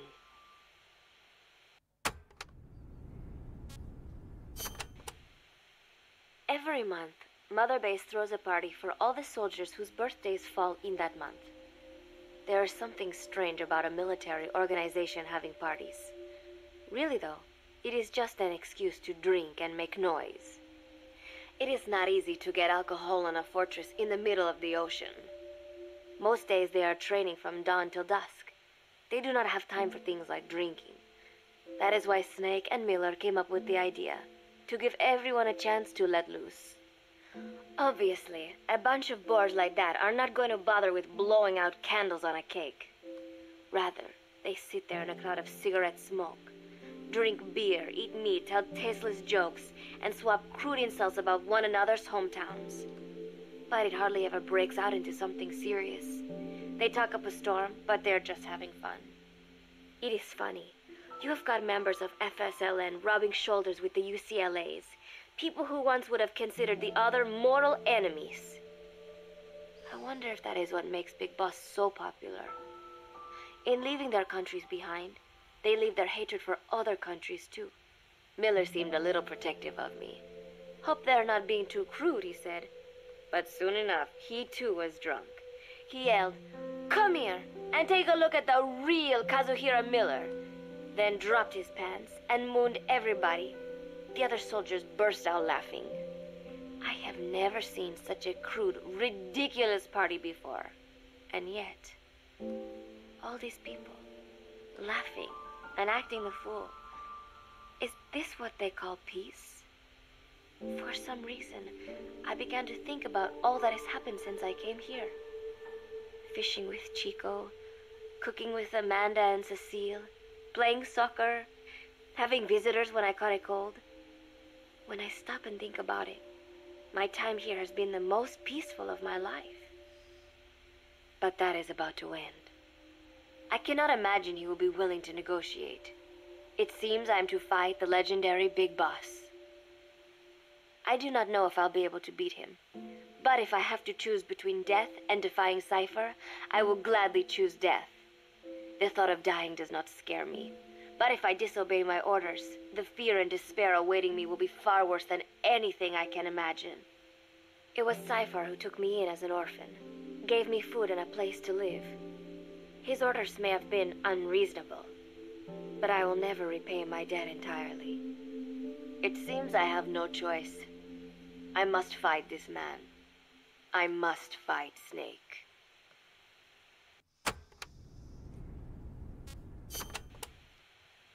Juno Miller, Snake's right hand man, apparently has got at least one serious weakness. He is an insatiable womanizer. He does not bother me, most likely because he considers teenagers off limits.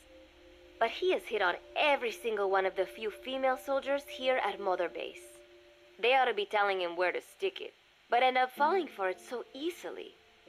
I think some of it stems from the fact that he is actually not that bad looking. Anyway, today, that nasty habit got him in trouble. He and Snake got into one of their rare fights, and I was there to see it. They burst out of the showers, completely naked, trading punches. I am no child. The sight of a naked man does not make me blush. But this was something else. Maybe this'll teach you, Snake yelled as he slammed his fists into Miller's chest. I heard later that apparently he had been two-timing someone, and that same someone had gone to Snake with her troubles. As I see it, it is her own fault for letting herself be deceived like that. If she is too dumb to see through Miller's lies, then she got what she deserved. But this was not the first time it had happened, or the second, and Snake read Miller the riot act. Miller argued back, and what began as a shouting match turned into a fist fight. You son of a bitch, Miller yelled as he swung. Not bad, said Snake, smiling, but not good enough. And then he was back on the offensive. They had already been at it pretty hard in the showers, and their bodies were covered with bruises. Both of these men had been trained for war, their bodies deadly weapons. They were each bleeding from a dozen places. All this from a fist fight. Even so, it was far less gruesome than if they had given it their all. It was obvious that one of them would be dead were they fighting for real. Miller took another swing, yelling, Try this then! Snake parried, then responded in kind, but I could tell he was not aiming for anything vital. You are one tough bastard, boss, Miller muttered. A smile crept across his face as he caught his breath. And then they went right on fighting. Blood and sweat flew off their glistening bodies. It was combat without hatred or hostile intent. I had never seen violence like this before. And yet, it was more than just a friendly tussle. They were utilizing every technique they knew. It was not a sporting match. They were not playing by the rules. How could they keep this up? At last, the two men tired themselves out, and the bizarre scene came to an end. They looked at each other's battered bodies, and then burst out laughing, embracing and congratulating each other on a good fight. It all seemed so idiotic. I still cannot fathom such behavior. But somehow, I got the sense that for all his womanizing, Miller really only trusted one person, and that was Snake. There was no way I could ever come between the two of them. And at that thought, I began to feel as if I had lost. All of Mother Base is preparing for a festival. Since Snake and his soldiers spend so much time fighting, they are setting aside one day a year for peace and relaxation. I do not know all the details, but Apparently, that is what Snake and Miller decided. These soldiers love the idea, of course. There is so little fun to be had here that everybody looks forward to events like these. That is all well and good. But somehow, I got roped into getting on stage. Come on, we even both have peace in our name, said Miller. And Zadornov, that old Ruski's name, has something to do with peace too, right? Hey, as long as we're having a day of peace, we ought to get an act together. The Three Piece Band. I thought he was joking. He then proceeded to share his idea without bothering to check with me. And now, I am slated to sing. Apparently, he had heard me on the deck one day, and since then he's wanted to form a band. Everybody's looking forward to it, so there is no way for me to back out now. I have never done anything like this, but it does feel kind of nice to know that people are looking forward to it. I mean, it cannot be any worse than Miller's singing, but modifications to Zeke are already finalized, and I must complete my mission. Betray Cypher now, and I will face a fate far worse than death. Still, there's no need to put things in motion just yet.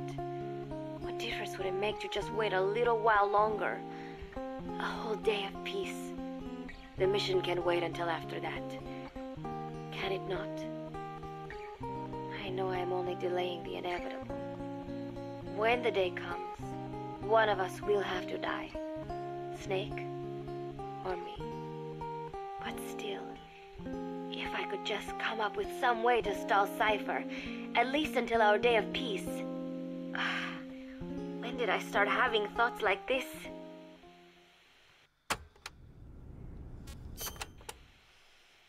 My cover is blown.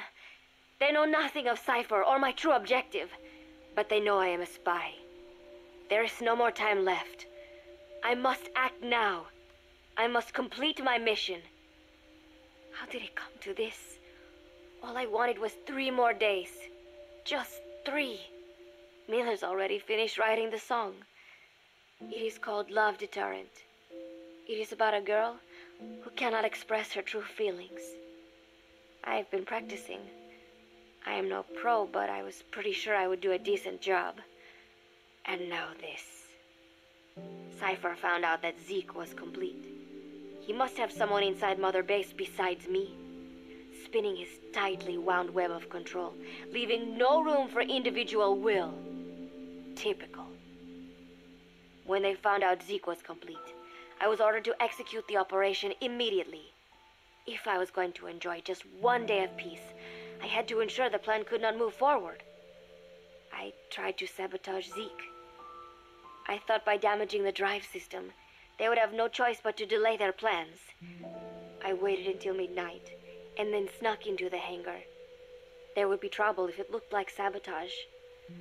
I selected one of the drive system's load bearing parts and carefully worked to warp its shape. The legs drive system requires a high degree of precision to operate. Even the smallest deviation would have done it. Then, Chico walked in. Maybe it was one of those nights where he could not sleep. In any case, he saw me, panicked, and took off running. It would have been easy to kill him. But I could not. I know he likes me. It is not as if I would ever have an interest in a child like him. But I could not pull the trigger. Not at him. Not in the back. Will he tell them? Or is there a chance he will keep it a secret? Protect me? No. He knows now. Knows I am not who he thought I was. He ran without even questioning what I was doing. There is no chance he does not know. And soon, all I have built here will end. And if Cypher has another agent among them, if he finds out I tried to sabotage Zeke, this place will no longer be my heaven. Then it is settled. I make my move now. Chico walked in before my sabotage was complete, so Zeke should still be operational. It might not run at full speed or power, but I do not have time to fix that. Without Zeke, I do not have a chance in hell of winning. I must act fast before Chico sounds the alarm. I knew it would come to this. I just did not think it would be so soon. It is time, Zeke. Metal Gear Zeke. Activate.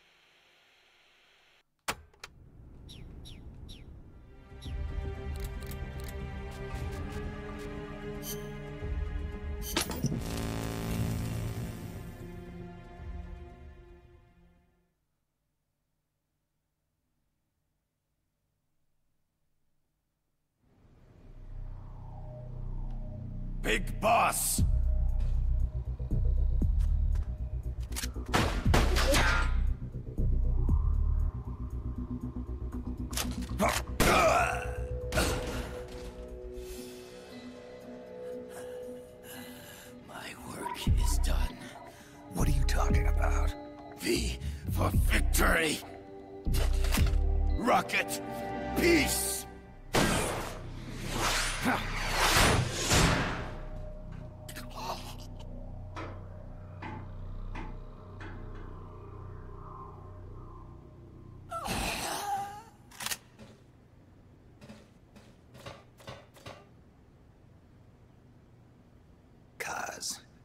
Zadornov. I had to kill him. Huh. So much for a fugitive. Something's not right here. I'm thinking he had a friend. Someone inside MSF. Huh?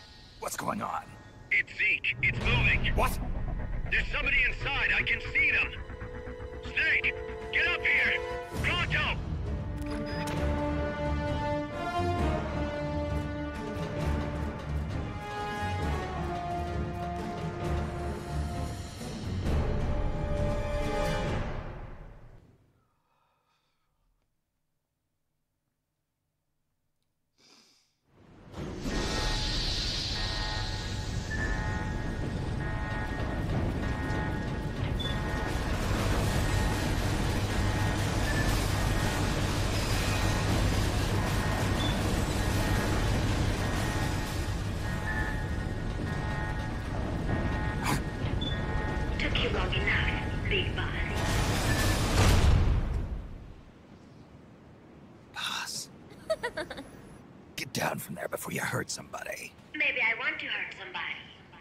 What's going on? She's not herself. Oh, I am myself, all right. My true self.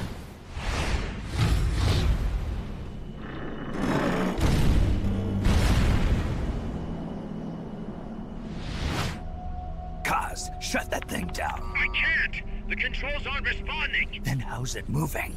I made some modifications. This machine was meant to have a human pilot.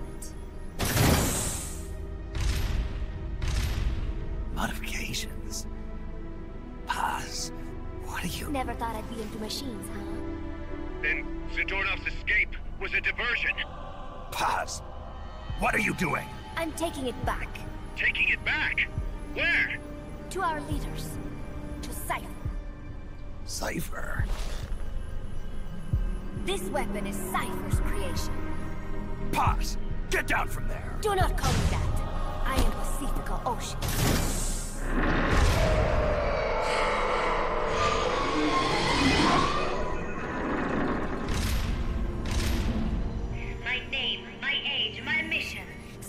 Them all to me. My entire life has but one purpose. To carry out Cypher's plan. The nasty tobacco. The angel of peace crap. The whole teen with a dream routine. I am through with all of it. Paz. you can't. Call me that. It makes me want to puke. Everything is gone exactly as we planned. Now the Real Peace Walker project is finally about to reach its goal. Real project.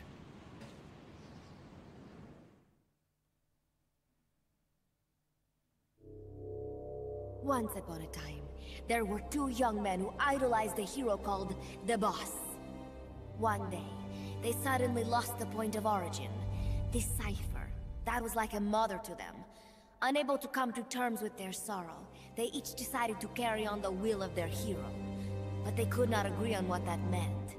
In the end, they became bitter enemies, and the zero from which they both started was split into two. And you have been on the wrong path ever since. There is no happily ever after waiting for you in the end, unless... You obey the will of Cypher. Where does an army without borders call home? A state without borders, of course. A world without borders. A world without borders. The Cold War order is about to collapse.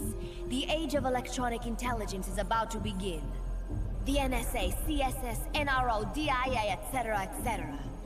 The intelligence community that has long bickered amongst itself will be united in a world governed by electrons.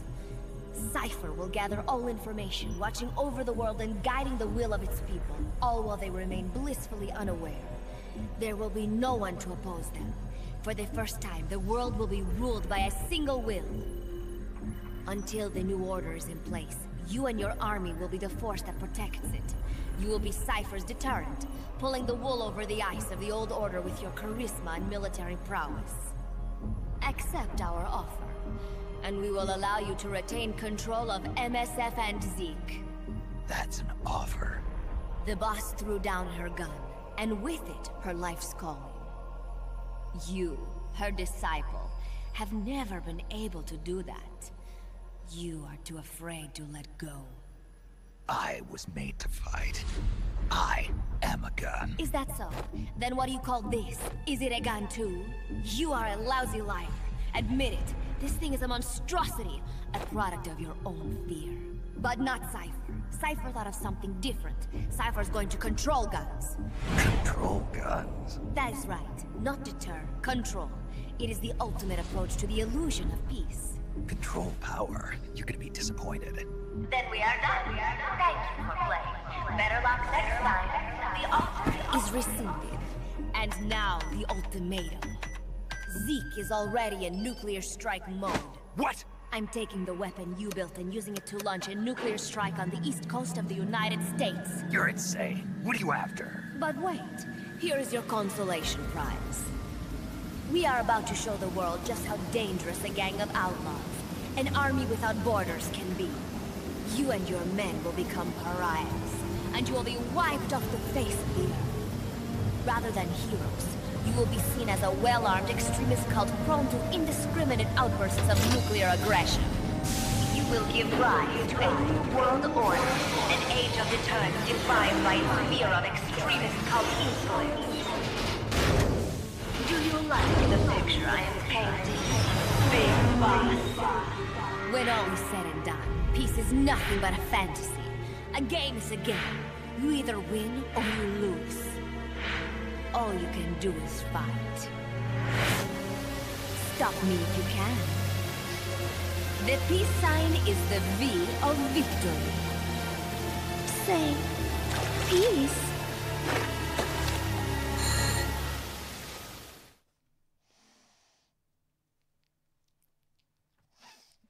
All right, are you ready for some J-pop? You ready to go full anime? Uh, I really hope I have the Zeke parts on this save. I think we should.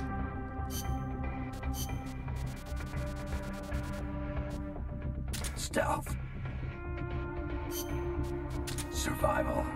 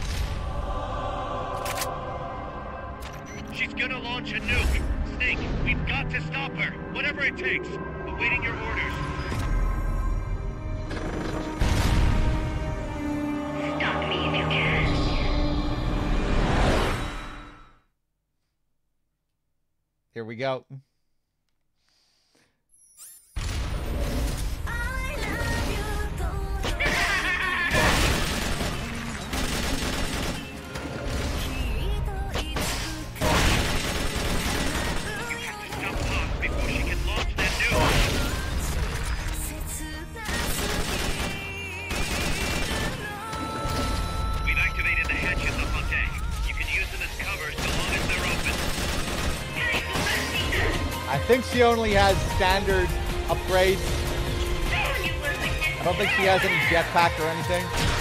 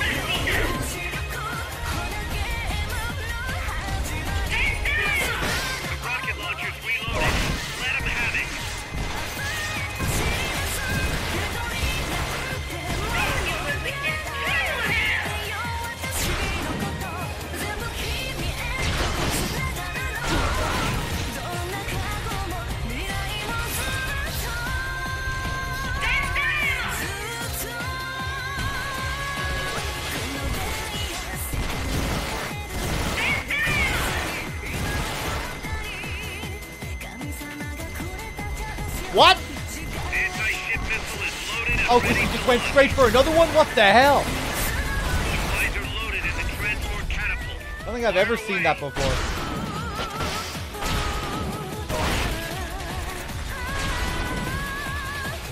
MGS2 style.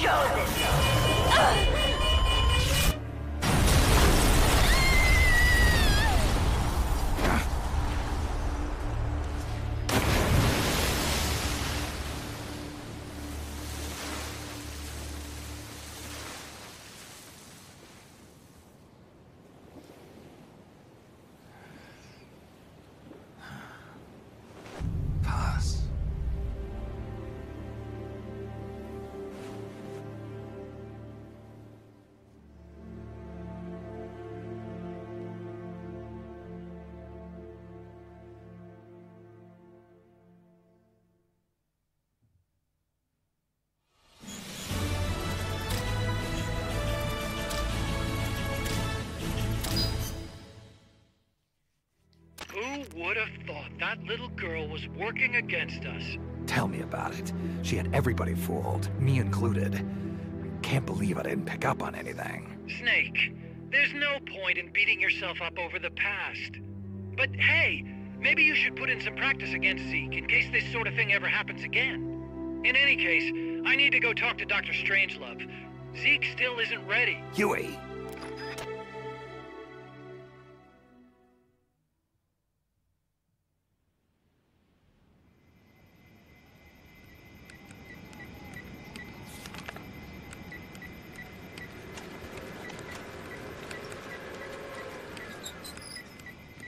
How's it going? How's Zeke look? The attitude control AI had a backup, so it should be able to walk. Really? That's good. Beyond that, it's up to the creator. Stop! Don't come any closer, Doctor. There's something I've been meaning to ask you. Do you. Do you despise me? Doctor, are you asking me out? No, no. Not at all. Uh, No? Hmm. Pity. Because I've just had my heart broken by someone else. What? I only like those who can stand on their own. If you fancy me, then come walk with me. Who knows what miracles might happen? Love is blind after all.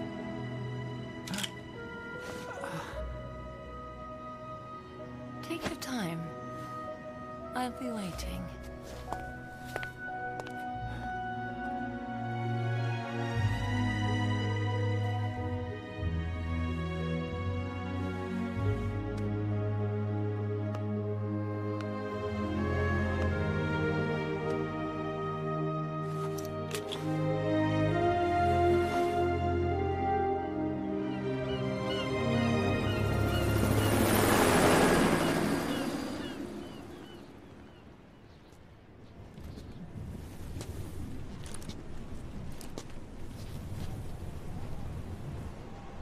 snake!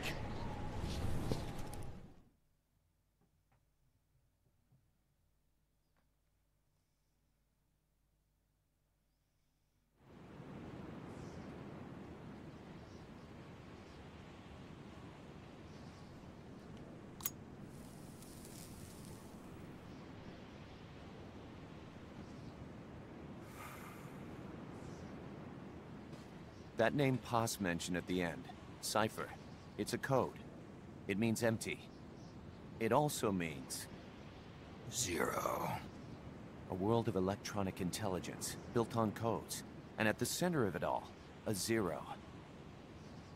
Cause... Uh, look, boss. I owe you an apology. Hear me out, okay? Sure. I, uh, knew Paz and the Professor. I knew who they really were all along. Cause... I used them. I suppose you were the one that brought them to Colombia in the first place, huh? Guilty as charged. Paz wasn't just CIA, you know. She was working for the KGB, too. And for this Cypher group. In other words, she was a triple agent. You knew all of this? Wait, let me finish. Listen. MSF never would have gotten this big if it weren't for them.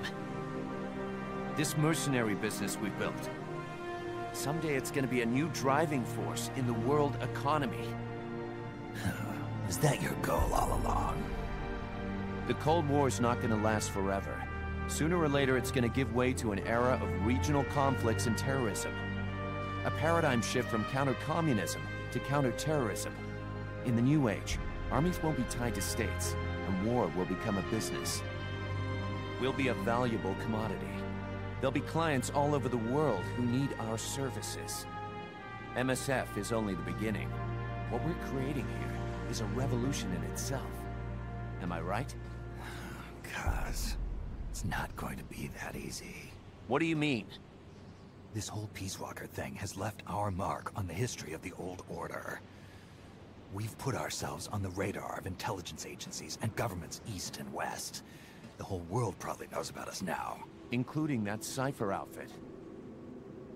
We've let ourselves interfere with the times, with the Cold War system of deterrence. We're an army without a flag. We weren't supposed to take sides in international affairs, but we did. I see your point. So what happens to us now? We'll be hunted. Not everybody's gonna be happy with us, huh? You're damn right. We upset the global military balance of power. And these people would rather our army without borders not exist at all? They're gonna come knocking real soon. There's no turning back now. We're a wrench in the old system of deterrence. As long as the times refuse to change, we're gonna make a hell of a racket. Then who are we gonna fight? The establishment. Anybody who tries to restore the old balance wants to snuff us out of existence. Which establishment? It won't be a particular country or ideology that hunts us. Who then? We're gonna be fighting the biggest beast of all. The Times. Ten years ago, the Times rejected the boss and killed her. And now, we're the ones being tested. Will the Times erase us?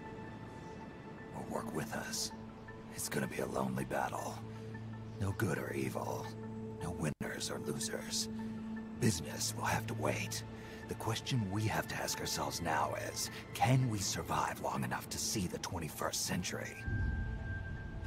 I'm with you, boss. We'll see how it turns out, together.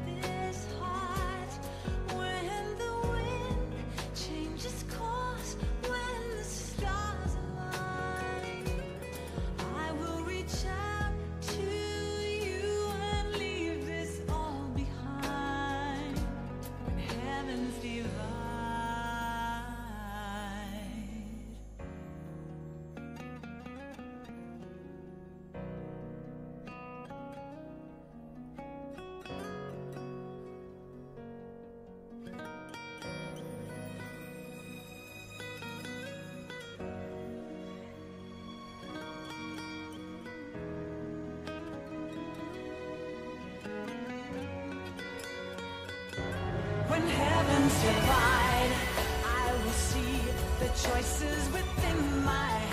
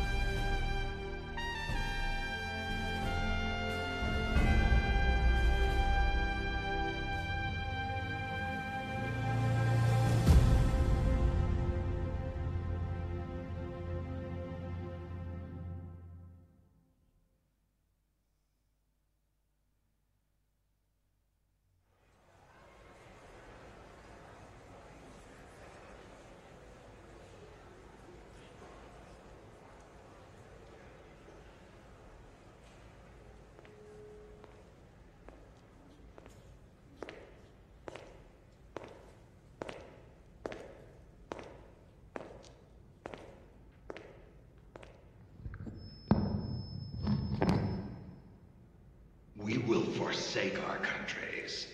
We will leave our motherlands behind us and become one with this earth. We have no nation, no philosophy, no ideology. We go where we're needed, fighting not for country, not for government, but for ourselves. We need no reason to fight. We fight because we are needed. We will be the deterrent for those with no other recourse. We are soldiers without borders, our purpose defined by the era we live in. We will sometimes have to sell ourselves and services. If the times demand it, we'll be revolutionaries, criminals, terrorists. And yes, we may all be headed straight to hell. But what better place for us than this? It is our only home, our heaven, and our hell. This is outer heaven.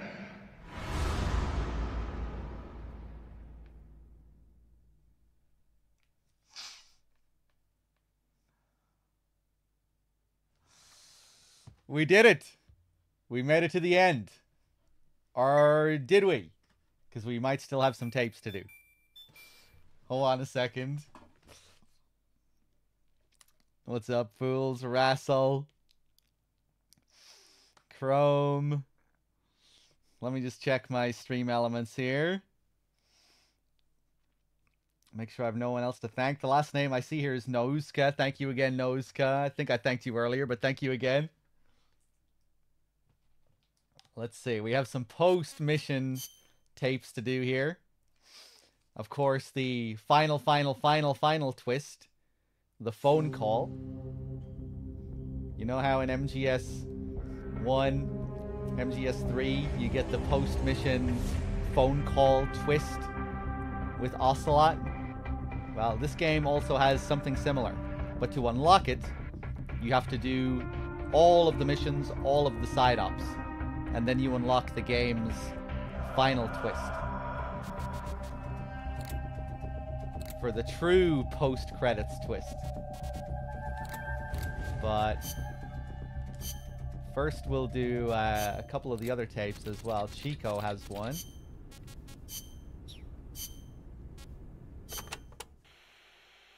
Chico, I heard you saw Paz trying to sabotage Zeke before she activated.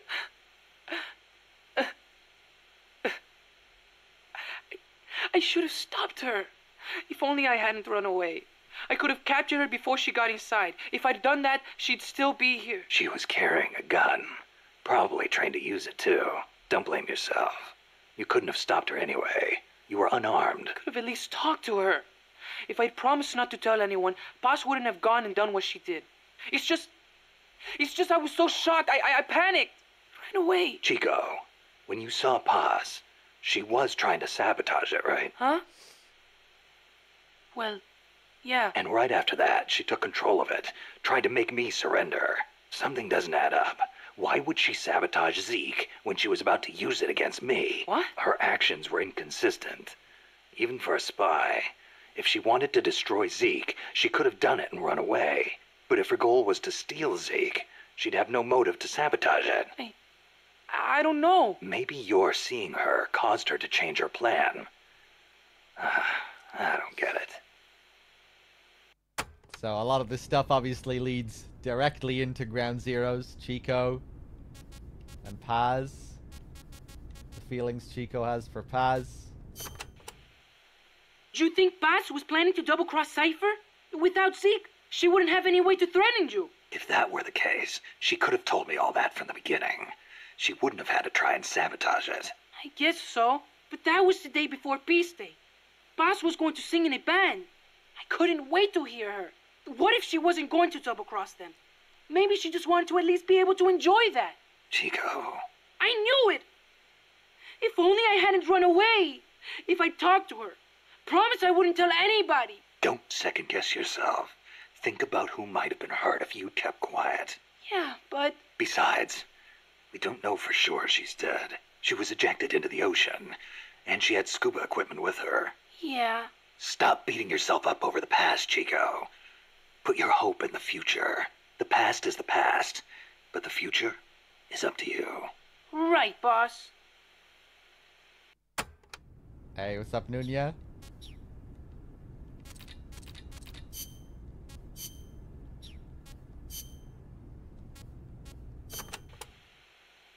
Remember that habit Paz had, Snake? How she always had her index finger on her upper lip like this? Yeah, yeah.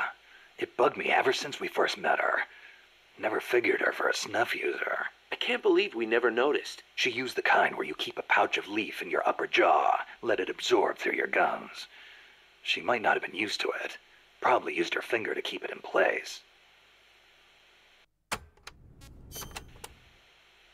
How could Paz... We were gonna start a band together. She was posing as a KGB agent, too. She must have put on the act to get close to Galvez. Wonder how much Coleman knew. But the whole time she was working for some organization called Cypher. Huh. Cypher. Ring any bells, Kaz? Cypher, Cypher. It means code, or zero in Arabic numerals. Zero. Does that mean something to you? Not sure. Hmm. You know, cipher and zero were basically the same word. It's a linguistic redundancy. The word stems from the Sanskrit shunya. It corresponds to the Buddhist concept of emptiness. In Buddhism, shunya means hollow. It supposedly refers to something that's swollen and empty on the inside. A big swollen emptiness. Just like outer space. Okay, now we'll do the final twist. The phone call.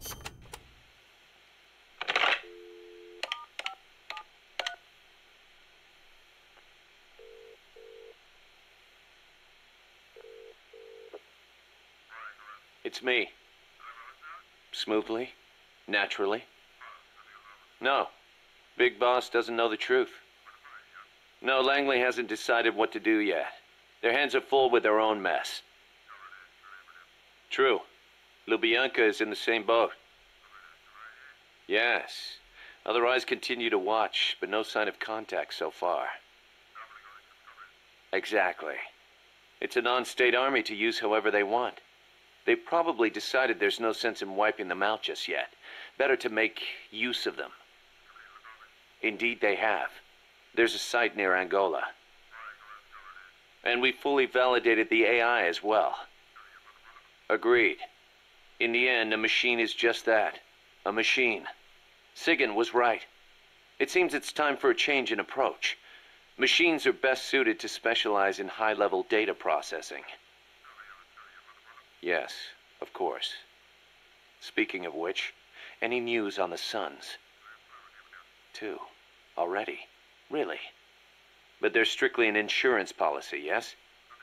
Hmm. So that's the idea. I wonder how Big Boss will respond. Yes, but I'm only interested in the business angle. Like I said before, I'm neither an enemy nor an ally. I'm merely a business partner. Don't forget it. Yes, I'll be in touch. My dear Zero.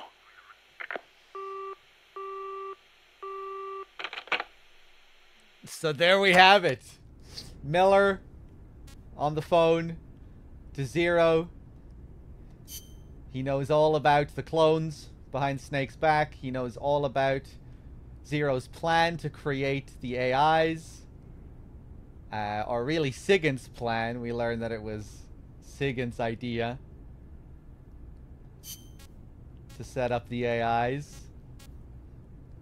And yeah, pretty big twist. so, another thing that's worth going over here, I think, is, you know, at the at the end of when we destroy Zeke and Miller and Snake have that conversation, and Miller confesses to knowing about Paz and Galvez. He says, "I know who they really were, uh, all along, and that they came from this Cypher group." when we get to the scene in Ground Zeroes, you know, you know, there's that bit of dialogue that people always get confused about in Ground Zeroes, where Miller is like, you know, now I'm wondering which was the real Paz and which was the lie, and people always say, but wait, shouldn't Miller already know?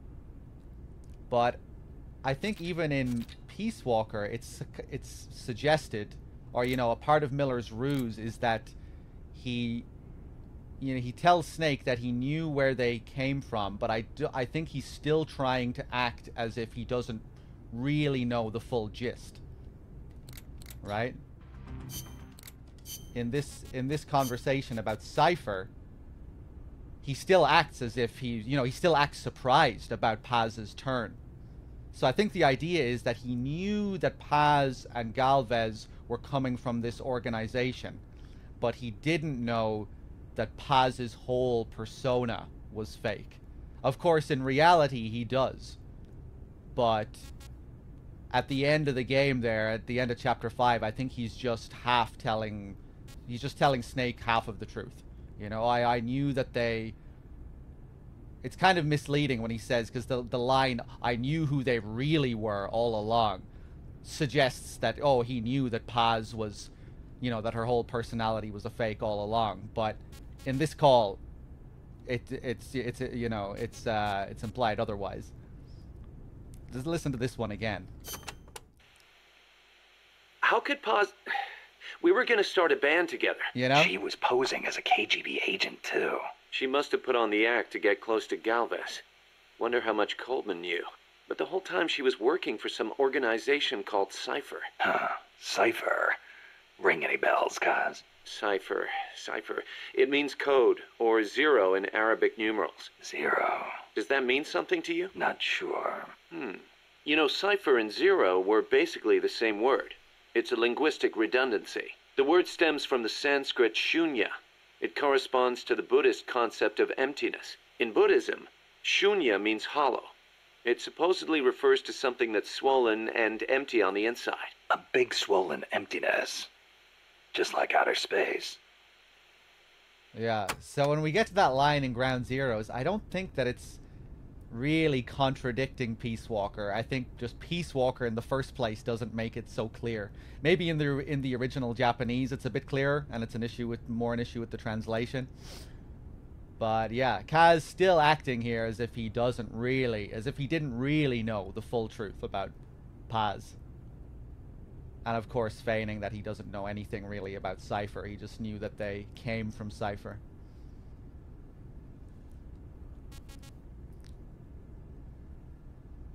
But there we have it.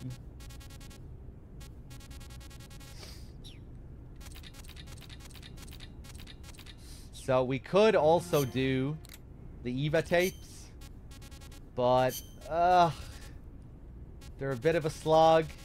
I don't always do them. I'm not the biggest fan of them. You get some extra backstory on the boss's mission to kill the Sorrow. You get to see how that went down. But, uh, I think I'm going to leave it for today.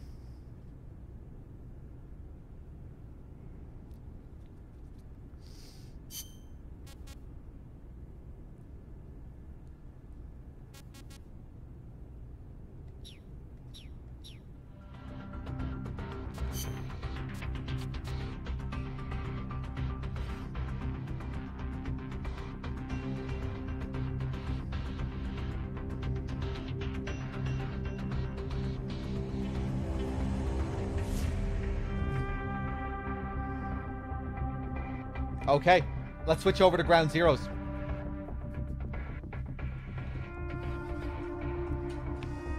Uh, give me just a minute while I switch over, while I switch consoles.